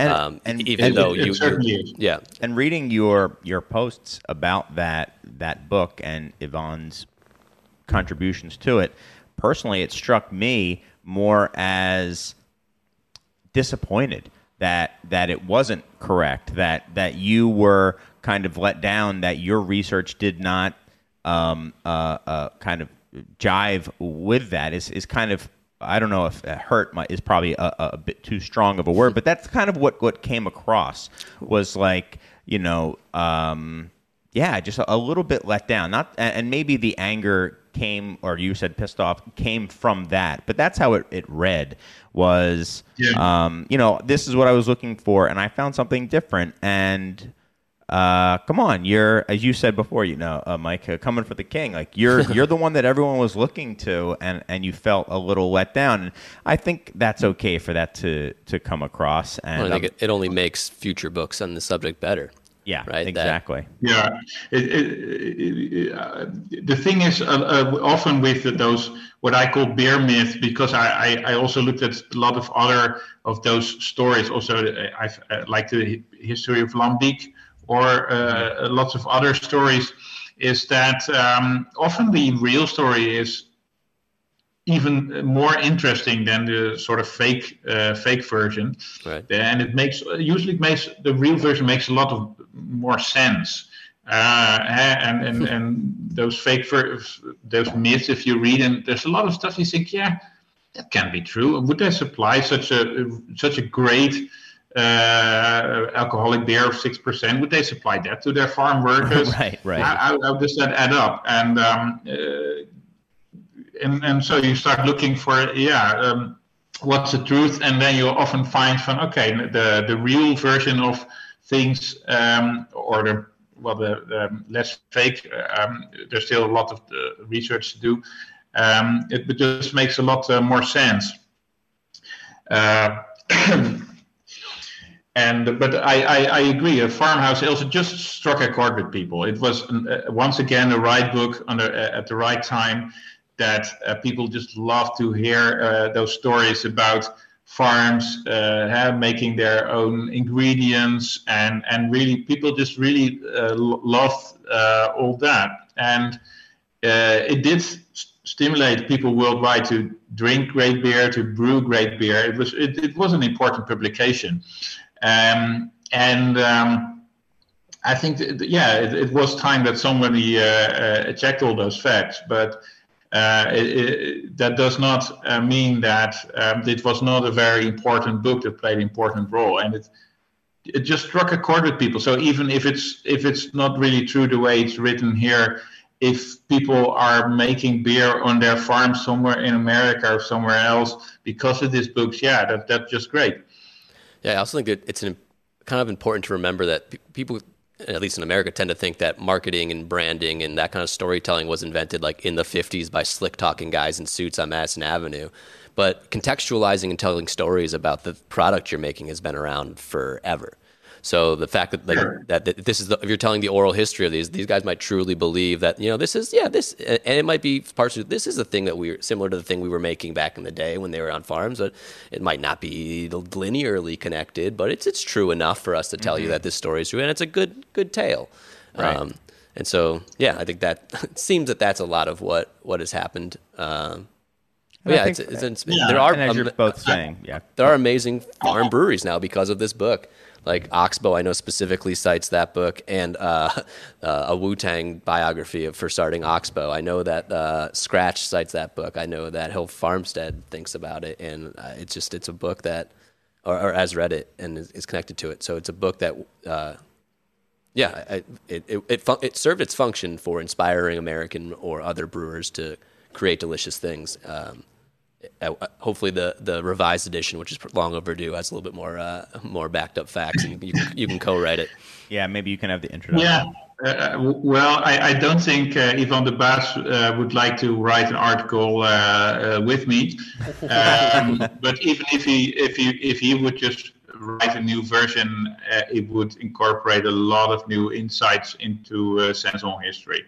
And uh, for one thing, Yvan de Baets also wrote a, a, a, an, article on uh, the history of white beers in a publication about uh, Pierre Celis, uh, the guy who um, uh, uh, invented the Hoegaarden mm-hmm. brand and revived white beer. and Yvan de Baets has written a section on white beers in that in that in that book by um, uh, well, I forgot to uh, who, who, was the main author, but that was just a great piece of, of writing. There was nothing wrong with that. So um, I would love to read a new version of Farmhouse Ales uh, with uh, an article uh, by Yvan de Baets in it, and it would uh, probably be a lot better than the current version. Well, I think that might be a, a good time to uh, to wrap it up. I wanted to thank you so much, uh, Roll. Uh, Roll, I can't say it. I, I apologize.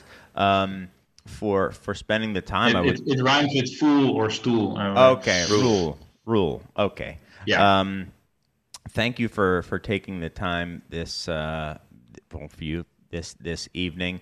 Um, is there anything you would like to say before we uh, we say goodbye? Hopefully, not for the last time. I would love to have you back on. This has been incredibly entertaining and informative for me personally. So, so thank you. yeah, there are still a lot of other uh, uh, European styles, or at least uh, uh, Dutch or uh, Belgian styles that we can can discuss. Um, so uh, basically, in the end, uh, a beer history is interesting and it can be uh, very insightful and important sometimes. But in the end, the most important thing is that you just should enjoy great beer, and that beer should unite people and not drive them apart because they are uh, angry over some historical uh, issue. And um, for that, I've been to blame as well. But in the, bot- uh, the bottom line is, in the end, uh, beer should unite people. Oh, that's a, Beautiful. a, a great sentiment. Thank you so much, uh, Roel uh, Mulder, for coming on. And uh, we will, um, I think, be back uh, shortly to talk a little bit about maybe more contemporary versions of the style. How the So, Americans messed it up. how we messed it all up, and that's where you can uh, play uh, front and center, Mike. Uh, Perfect. Your your part in messing everything up. uh, so uh, we will be right back, guys, with more of the Beer Temple podcast, and we're back uh, with the Beer Temple podcast. Uh, Mike and I are sitting here in the, uh, the the Fox room, whatever you want to call it, the back, not the back back room, but not Studio BT, the actual bar. Um, Rare day record. yeah, day record. So that was pretty. We we've so That was we've- very cool. Yeah, we we just got done with uh, talking to Rule, Mm-hmm. and um, yeah, very cool. Yeah, Um, I remember reading uh, those articles when they came out in 2018. Actually, now that we Okay. uh, reread them and it being like kind of like this is blasphemy, but also Right. then reading it and being like yeah, it makes a lot of sense and like uh, yeah, and just like uh, reiterating that while it, was directionally correct enough, you know, and inspired enough other breweries that while it might not be an academic paper, it is it served its purpose and more, which is kind of something we're, we're going to branch this into, right? Is the Yes, the effect The of of of Dupont and that book and An and all of American- that. American production of things in that family, more or Yes. less, right? Yeah. So I think yeah, where we've kind of left is is the history of of saison, how that came to the U.S., maybe how that was originally marketed, how that why it was marketed that way, perhaps um, some of the the story and the folklore, uh, the realities that are were behind that.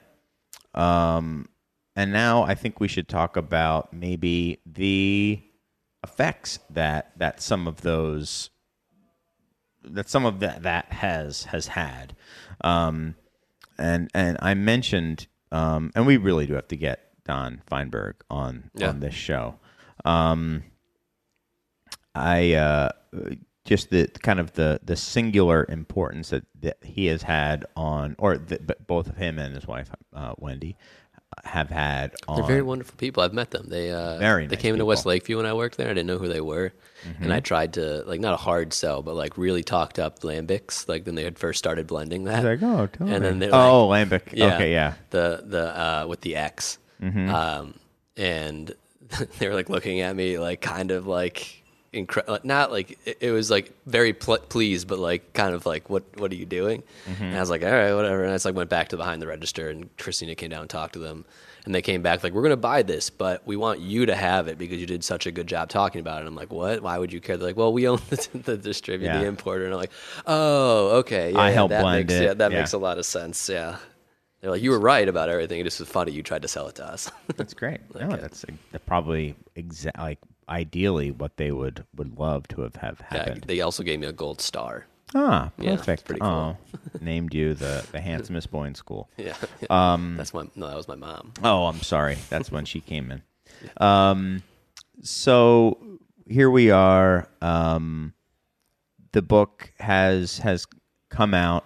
Um, yeah. Yeah, and and so like one of the reasons Phil Markowski was tapped to write that book because I think he is, was winning many awards as the brewer at Southampton uh, on Long Right. Island, which was like one of the only places making Mm-hmm. saison. And I think another thing to think about is that like no, like these books were read by you know they were it was what 19 2004 so there was a few thousand breweries and a smaller subset of that Right. in america were reading these books and i don't think they ever intended or knew it was going to blow up in quite the way it did um, but there weren't that many commercial examples being made in america like at that point it was them and uh, uh, obviously dupont was here but there Omegang, Omegang. which is also you know Vanberg and DeWulf. right Um, they they started that. Uh, maybe New Belgium Yeah. had uh, some May- stuff going on maybe. at that time. I mean, I'm trying to remember in those books what they saved for the wild brewing one and what was in the, the Mm-hmm. farmhouse ales one. Sometimes they would blur together as as the styles sometimes do, right? Right, and like what was yeah what what was being made uh, domestically?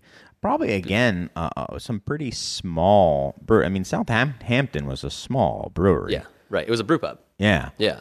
And um, somewhat interestingly, there was almost no discussion of uh, mixed culture brewing in the farmhouse ale book. There's it's mentioned that Brettanomyces would be in it, or that some of the beers that were made in this way would be tart.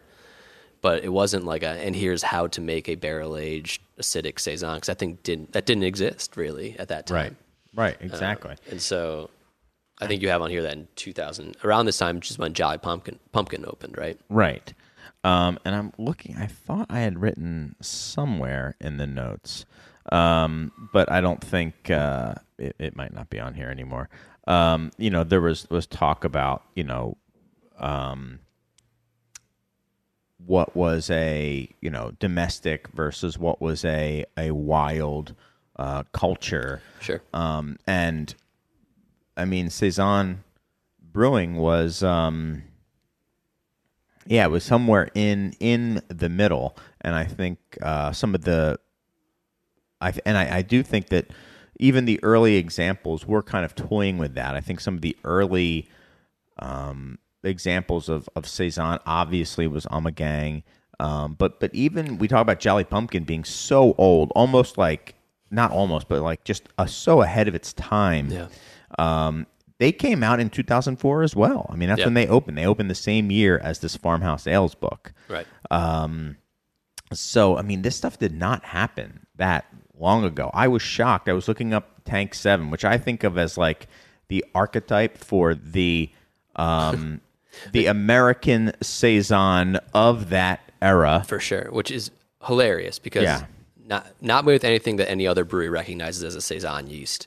Really high in alcohol, really un, un, under attenuated for the other examples in the style. So not sharing most of what Mm-hmm. everyone else is like. This is what makes saison. Did have Brett in it. Some of it did. Yeah. saison Brett, which is a, a fantastic because it's more attenuated. Yeah. But um, yeah, it's an interesting that that's the one that like kind of became one of the only you know commercial examples you can get. Right. Uh, and wasn't packaged until 2009.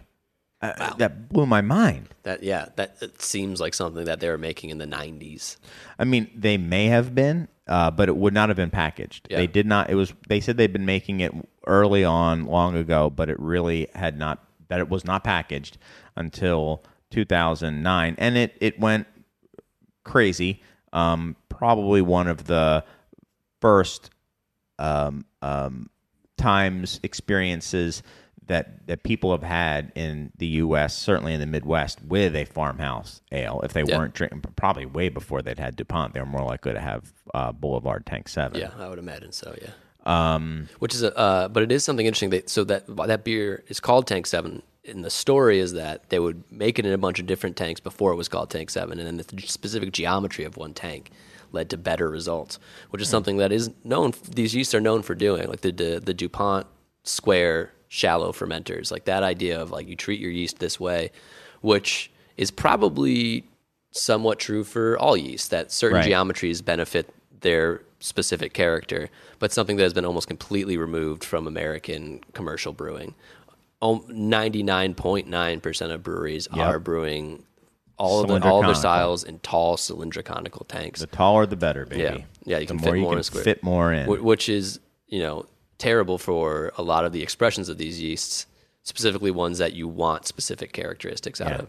Uh, but it's bad for every yeast. Doesn't no yeast likes that environment or thrives in that environment. You find ways around it. You pitch more. You aer- aerate in certain, but you It's not what these yeasts want to do, and it's not the, these yeasts notoriously, specifically Dupont yeast, doesn't behave correctly in that environment. So most people just doesn't attenuate the same rate. Yeah. but you have to do a lot of different things. I remember, um, and I, I've told that's the, by now people know that I'm just going to retell the same stories, but it is funny. People uh, laugh at my, you know, uh, fanboyism of of Trumer Pils, and I've met the, I think I met the brewer once. I might have met him twice, but I think it's once, and within a few minutes of meeting him, I was uh, getting in a disagreement with him You were disagreeing with him over tank geometry. Me, the total jackass,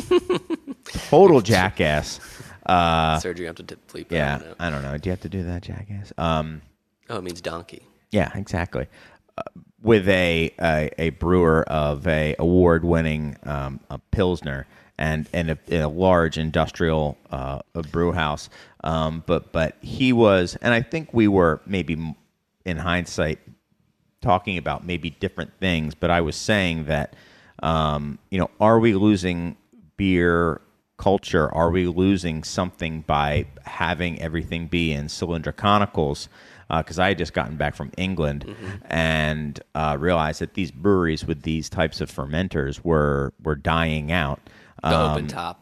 yeah, because shallow. even there, the newer ones were, you know, going cylindroconical, Yeah. and he was like, "No, cylindroconical is good because it's, you know, you get this repeatable process, and you can, you know, it's this is what you want, Right. and And from and his that. perspective, that's correct. Right? Right. And from your perspective, who, who uh, you It's want like the, I don't want, I don't, yeah, I, I don't want this to You don't want all of die. your beer to be like that. Right. I think it's. It, I think it is probably correct to, to say that most beer should be like that.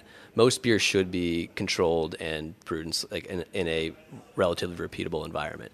But there also should be breweries that don't do that. Yeah. And and another just a uh, sidebar off of this, the Brettanomyces that is so associated with saison and specifically now American saison, that's like the barrel aged versions of it, is actually a British thing, and mm-hmm. it is not at all a, a wild yeast. Mm-hmm. It basically only lives in places that make alcohol and goat farms for some reason. Okay, Like it's not like if you go and do a wild capture, it's pretty unlikely you actually captured any Brettanomyces. Okay. You most likely have captured wild Saccharomyces that has is phenotypically similar to Brettanomyces. got it. Interesting. Yeah. Um, but so like, but like, you know, coming from Lambic and people Yeah. analyzing that, when they look at it, they're like, well, the, all these Saccharomyces species are essentially the same genetically, but these Brettanomyces are weird, so it's got to be those that are doing it. But it's then there's Brettanomyces in those beers, but it is very much more likely that it's a, a weird Yeah. Saccharomyces. Yeah.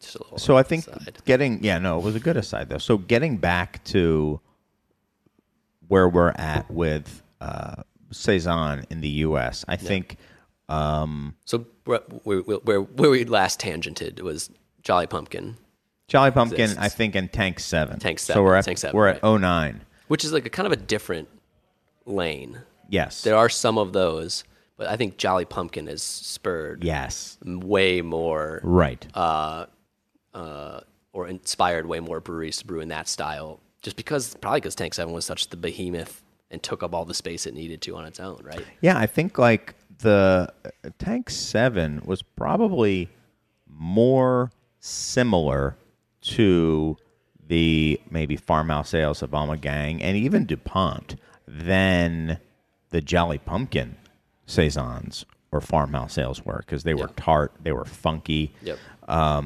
So All oak fermented. like- Right. Uh, so then the, a year after Tank Seven is bottled, um, is an I would say an, a very important year in in farmhouse ale in America. Uh, that's 2010, and that's when Hill Farmstead opens Yeah. in in Vermont. And I'm not saying they were the first, but like you have to have signifiers in these hot take history. We're very much on the hot take side now. Okay, rules gone. It is hot take time. These are piping hot takes. Yeah, we'll send them an you. edit without this part Exactly. So- so, won't fact check us and shame Right. us on the internet. Um, but I think it can be a stand-in if it isn't actually singular.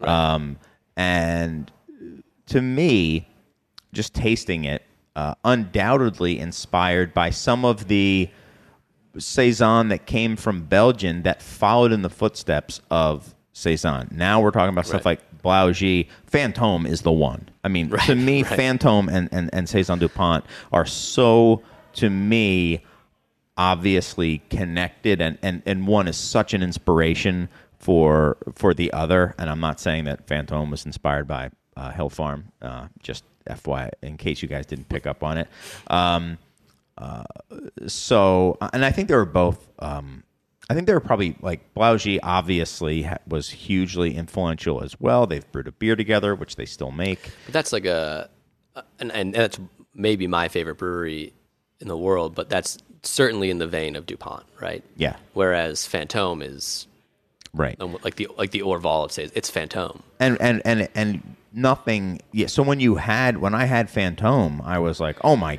gosh what is this this stuff is fantastic it's it's it's just so complex and just a little bit tart yeah. and it's weird and, And then you had another one. You're like, what the yeah what this and i mean i think i got into Fantôme when it was like in a really hitting. high spot Yeah, it was same. really hitting really really well and i would have bottles even then um where they would be fine, but then every fourth would be just this magical, or maybe fifth, or whatever it was, would be magical. Yeah. Um, and it wanted you like I want I have to get it again because I have to recreate that spe- experience again. I've got to get a like a just an amazing bottle of this stuff. and feeds into like the romanticism of this style, right? That the Right. story is being told Oh, is very pastoral and romantic, but then that idea of like just this crazy guy Right. brewing all the beer himself. He doesn't even really drink beer. He just kind of drinks soda and Doesn't tell but anybody what's in his he beers might not really. even know. Like, but then you have one. You're like, what? How did you Right. do this? Yeah. Um, so so cool, and I think that is the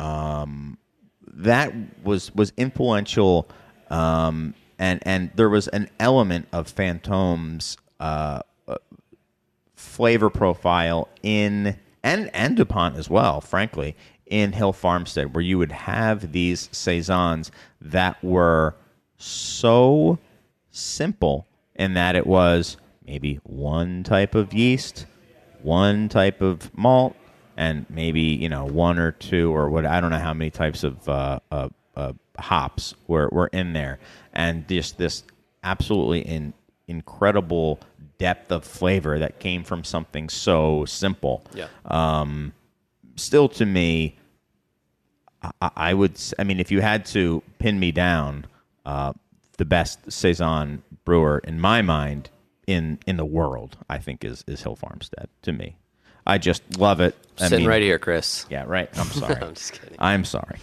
Um, they've ha- they've got you know they've got 12 year or 10 years on you. Right, right. Um, so joking. yeah, so and and then you have, I think, an explosion of that style saison, which I think we are still living in, and I think it's been mutated and well, it became it went from bastardized being a bit. it kind of uh, yeah definitely mutated into something that went from being like saison into just being American sour ale, Right. Which became something kind of different that I don't I don't really always associate with the thing what we're talking about. Right. But like there was a period where everything needed to be more sour and everything even even, even people that were trying to not make it more sour Right. just got more sour.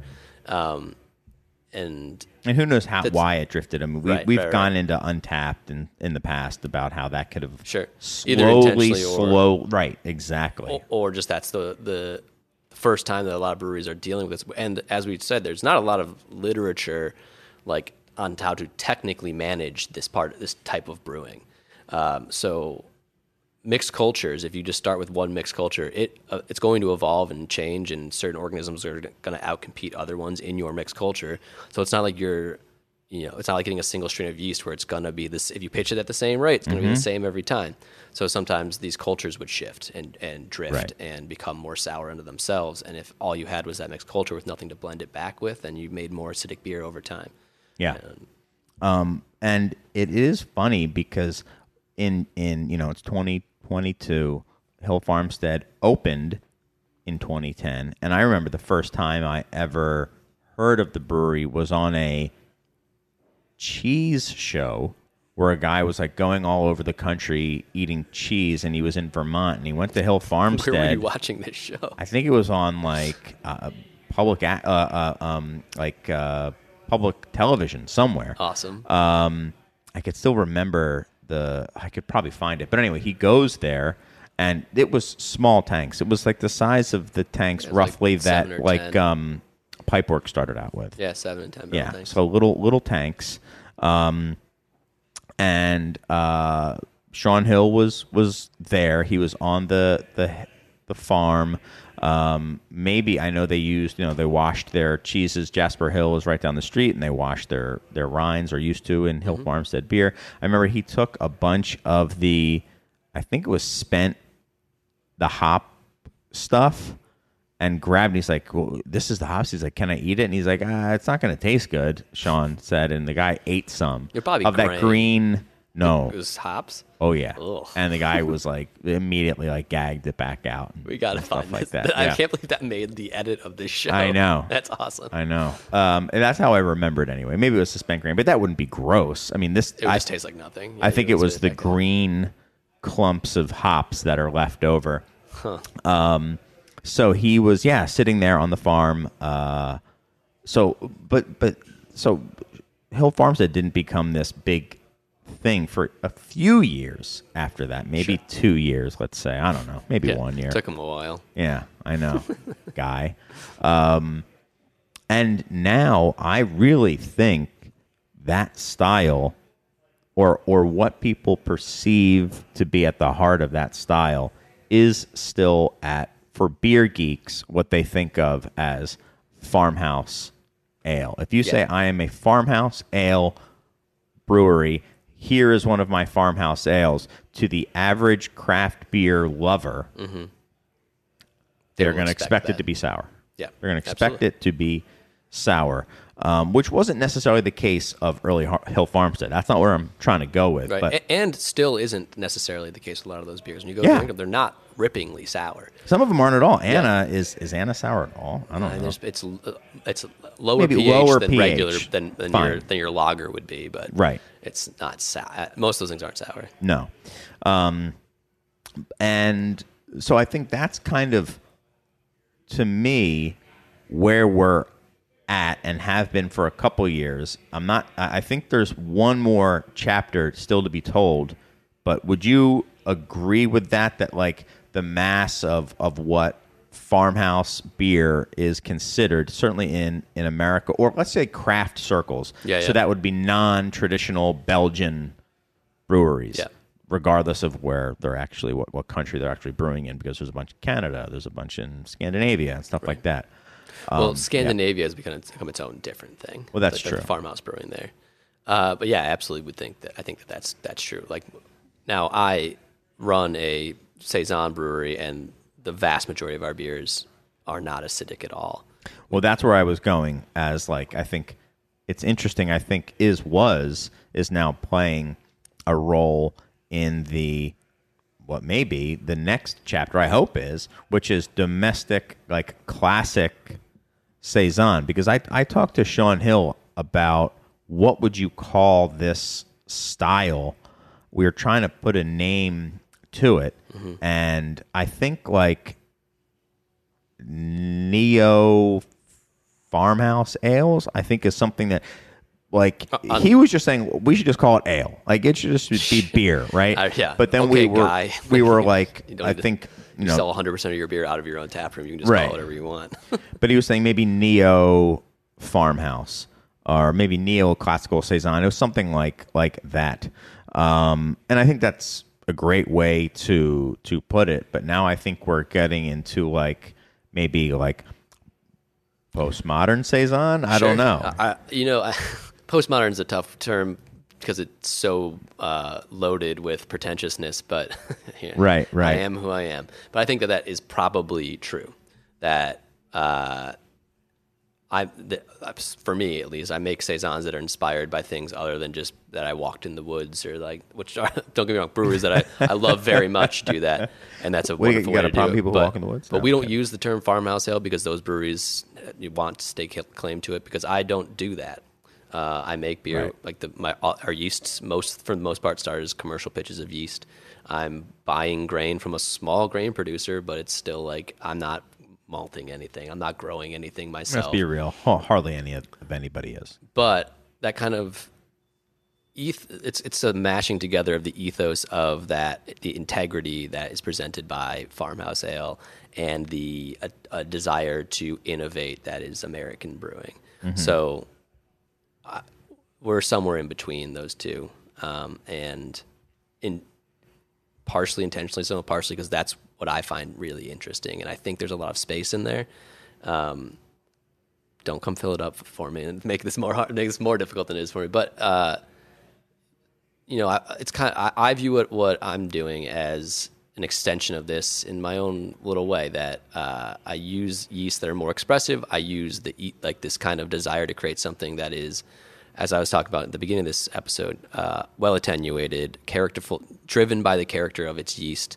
Um, typically using some sort of non-barley grain to in, in uh, imbue some flavor, some body, and some mouthfeel, but also using, you know, we use some modern hops. We use uh, like basil and things that aren't typically used in, in or wouldn't be used in Belgium. Um, but also, like I was saying, when reading those books where you look at something and you're like, that's factually incorrect about how this yeast behaves.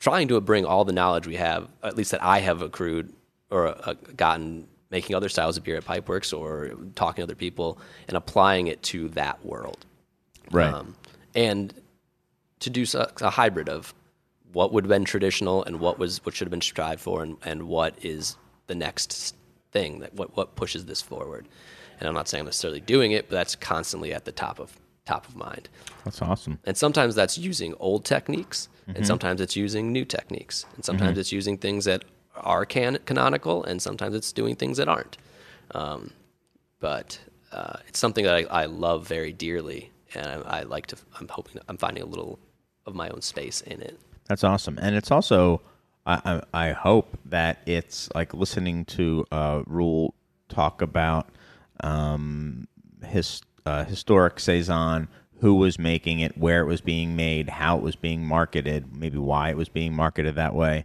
Um, to feel like you're very much in the tradition if you are trying something new or trying to see if hey i wonder if people will respond to this even though it isn't um, you know in uh, you know the mad fermentationists blog or i mean i'm just picking somebody Sure. um, Yeah, um, and it's uh, you know still very much in the tradition really of all beer but also um, but also saison as well to uh, to to try different things, to be um, yeah, I, I mean even uh, m- marketing um, uh, their their beers.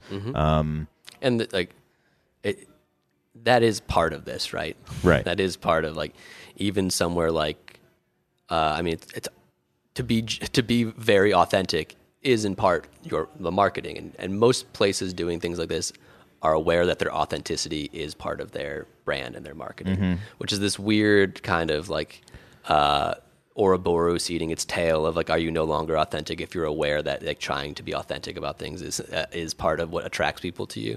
Um, but I think that you just yeah. don't need to navel gaze that too hard on it because I've spent a lot of time Yeah. being like, how do I how do you do this effectively without it seeming false? well, also And uh, just don't give a shit about yeah, it. It's yeah. the best way. so there's there's this thing it's it's also interesting when you when you say that because also your and so many others concept of authenticity of this style of beer Right. may not be authentic. So, Right, right. like, it's so funny that it's it's just become abstracted now, which does not make the authenticity any less authentic or or real. Um, because once it's been, you know, generally agreed upon, uh, you know, defined in a certain way, okay, then I'm authentic to this definition of it. Or- but or it's just- funny if that's kind of an abstract or was created for maybe authentic. Uh, uh, authentic authenticity at heart, but not really of actuality. If that makes any sense, Well- it's just so you can just go so deep into that. if you're going to try to define that by like the actual specs of the thing you end up making, you're just picking a point in time to be authentic to, right? Right.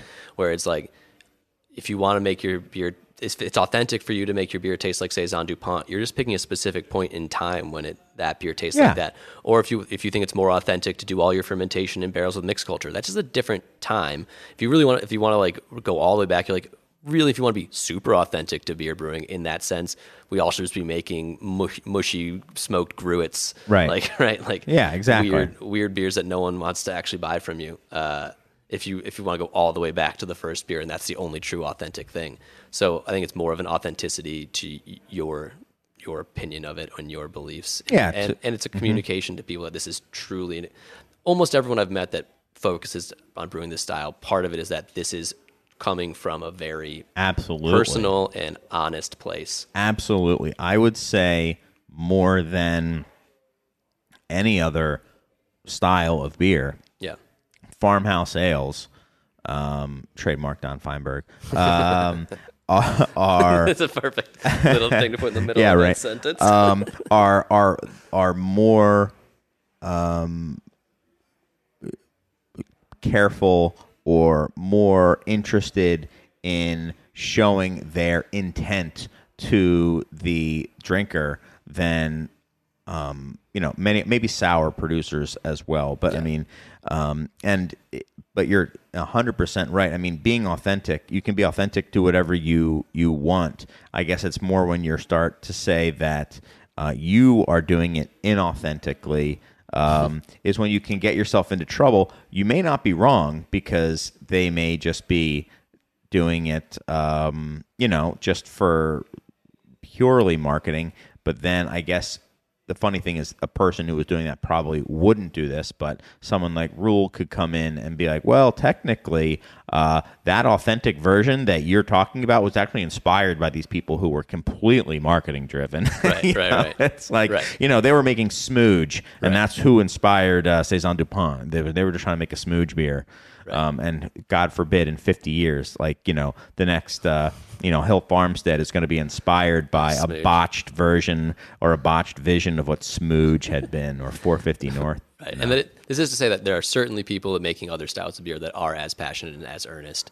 It's just that uh, there's a high percentage of the people making saison that are hearts are that or philosophically driven or like For sure. so uh, and that book has to have a lot to Yes. do with it. How So- could it not? I so mean, yeah, how could that one style attract a t- flavor of beer attract like a, a like an ethos more than other types? It, Uh, it seems impossible. No, yeah, it it's hard. It uh, you know, of course, you want the book to be technically accurate and historically accurate, but you don't want to throw the baby out with the bathwater, like we were talking about earlier. Where like the the way that was written and the passion with which it was obviously written was so rare in those books, and still is so rare in most like most mm-hmm. brewing or even beer related books. Period, even if they're narratives.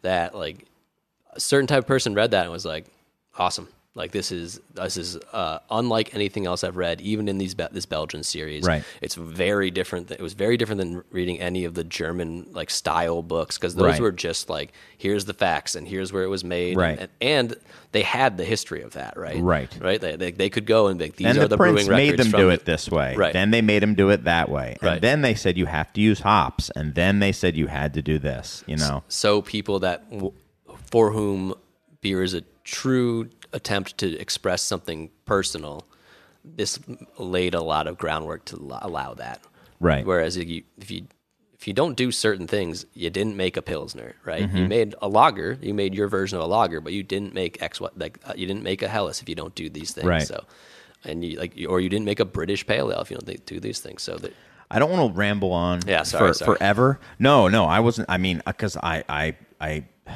I guess I do want to, but I don't want to. But now I'm just thinking like, it- we've done a couple of these, um, like the history of German Germanic styles, uh, the history of of Belgian styles, and the history of English styles is where almost all of this, almost is going to come back to. One of those three regions, ninety plus percent, and the probably le- the least um, uh, broadly um, recorded, certainly in English language, is the Belgian stuff. Yeah. And I'm curious if that is why we have uh, taken that uh, void, that vacuum, and used it to insert all the passion and stuff that we want to be true because we can't be proven wrong. Right. You know, there wasn't these like not- well documented Yeah. giant, the largest brewery in the world was coming out of, you know, uh, England at the time Right. and, and stuff like that. And while they were certainly industrialized nation, they, it wasn't. It doesn't seem to have been quite to the intensity of, you know, the English vats that were you could throw dinner parties in, or the Right. German precision of you. And uh, I'm sure you, there was great apprenticeship programs and things like that, but it wasn't a school like in Germany where you it was a career path that you could still go down. And you like there are people in Germany that don't drink beer that Yeah. are professional brewers. I mean, Right. there's people all over the country, like all over the world, like that. But um, because they went to, they are literal they're brew masters. Yeah. Yeah. Um, and like we, that doesn't seem to be the story about Belgium. That's one of the funny. That's one of the things I love because the more you about these shows is the more you talk about it, the more things kind of open up as like a possibility that just seem to maybe make sense. And time and again, when there's this incredibly romantic story, mm-hmm.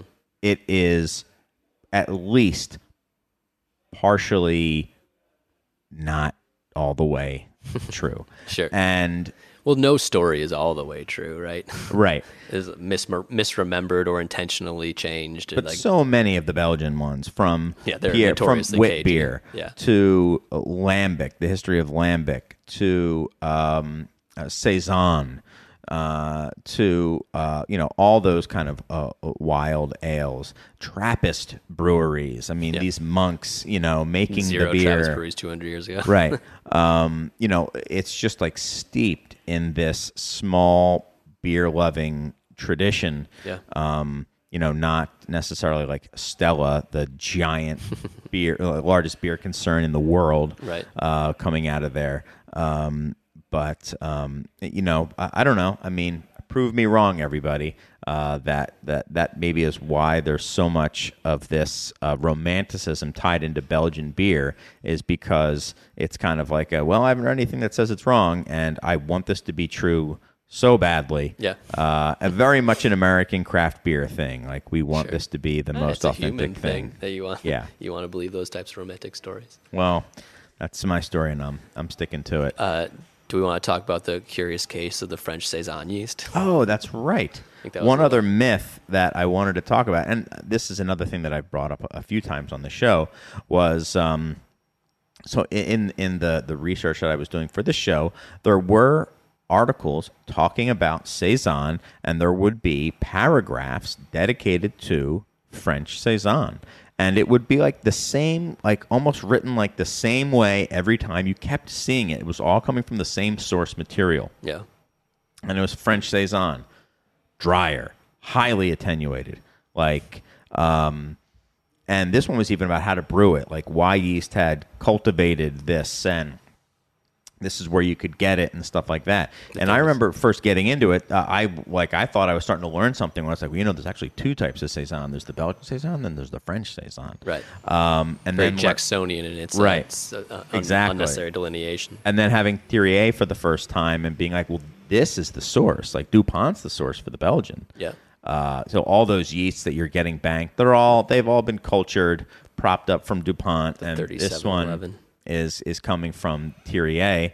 Um, and just you know, one of the cool things about like I think we had talked about in maybe the the cool experiences. I don't know if I included this one was when I went to Thiriez and ended up having like breakfast at his table Yeah. at his kitchen table with him because I didn't have anywhere to stay, and he's like, "You want to stay in my house?" I was like, "Okay."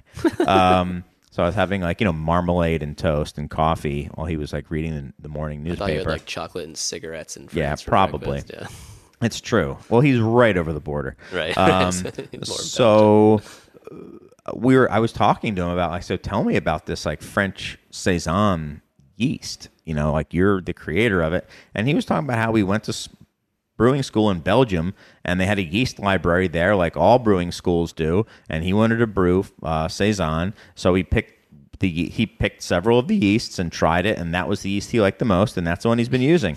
And I was like, he's like, yeah, so it's from Belgium, and I was like, so it's not like a, it's not like this. So that farmhouse yeast isn't like the, the French style. He's like, well, first of all, I never said this was French saison. Second of all, that's not my yeast. Like they may have gotten from a bottle, they might have propped it up from a bottle of my beer, but like that is not my yeast. If you brew with it, um, and I mean, he was like, he was not upset in either way, but he was like, people are saying it. You have never heard me say that this is French sa- saison or, Right. or anything like that. Which, um, you know, that's that's you have to be pretty deep in in, in beer geekery to have heard of this French saison thing. But um, I mean, I, I remember selling people bottles of beer, being like, "Oh, this is French saison. This is where it originates from," and then it all just being like, "No, it's just a different Belgian yeast strain, man." Yeah. Like, well, then you go like, as we talk about, say, uh, style being applied after the fact, that style can be, well, in this region, they might use the same ingredients, but it comes out differently because they use a different technique or Right. attenuates more. But like, say, Saison has become so specifically tied to like, you use this type of yeast, which doesn't have to be true. right. Um, it just is uh the easiest marker for us to wrap our heads around. And it could easily have been just picking a different saison brewery and being like, ah, this is the, you know, pick whatever town they're from. Like, where's Blaugies from? Like, whatever town they're from. Right. Like, oh, this is the that style. This is what the saisons tasted like in this region. Blaugies. Uh, and it's like, well, no, it's just that one singular example and their one singular house yeast, which is exactly what Thiriez was. Yeah, and, and in reading some more recent stuff with Yvan, one of his things he's on now is like trying to dispel the myth of this specific type of yeast being used for farmhouse brewing all the time, or Right. saison brewing all the time. Right. Where he's like, no, it was like what they had, and they would be. It would differ from place to place. It wouldn't all be this like phenolic, uh, STA1 positive or diastatic uh, yeast. It was it was different in different places. Very cool. Yeah. It's very cool. Uh, also, when you get to the end of these episodes, that it really just opens up more doors. I mean, of of all the the the hot take histories we've done, this is the one that kind of just is uh, ends in a very happy. I don't know. Like Yeah. it's it's we'll see where it goes, but Yeah, it's this make- kind of cool make thing. one. Yeah. Yeah, cool. Anything else you want to say before we get out of here, Mr. Shalau? No, this is fun. Yeah. Well, I agree. This was a great episode. We might have to break it up into two parts. We'll we'll see how how long it, it went. It probably Um, could be longer too. And pro- oh my gosh, um, it could be. Go full Rogan on this one. we um, well, I want to I want to thank all you guys. Please, uh, the the letters, uh, the e letters, and the actual letters have been slowing down. It's probably because I haven't been um, asking enough. But if there's anything that you guys have liked about this show in the past or would like to hear more of, um, let us know. It's insiders at craftbeertemple.com, and that's in the show notes. We're going to have a bunch of stuff in the show notes this episode if I remember to put this stuff in. um, but hey, I mean, how about thanks to uh, to Roel uh, Mulder for for coming on? I mean, Yeah, yeah, it Roel. was great. Sorry. Um, all right, guys. Well, that's about it. We will see you next time with the Beer Temple podcast. And so long. Wait, let me see. I have to be Surge now. What's so long? Oh, wait, I messed it up. Push the fade around. There you go. There we go. All right. Well, got it. Nailed it. See you, everyone. Remember, this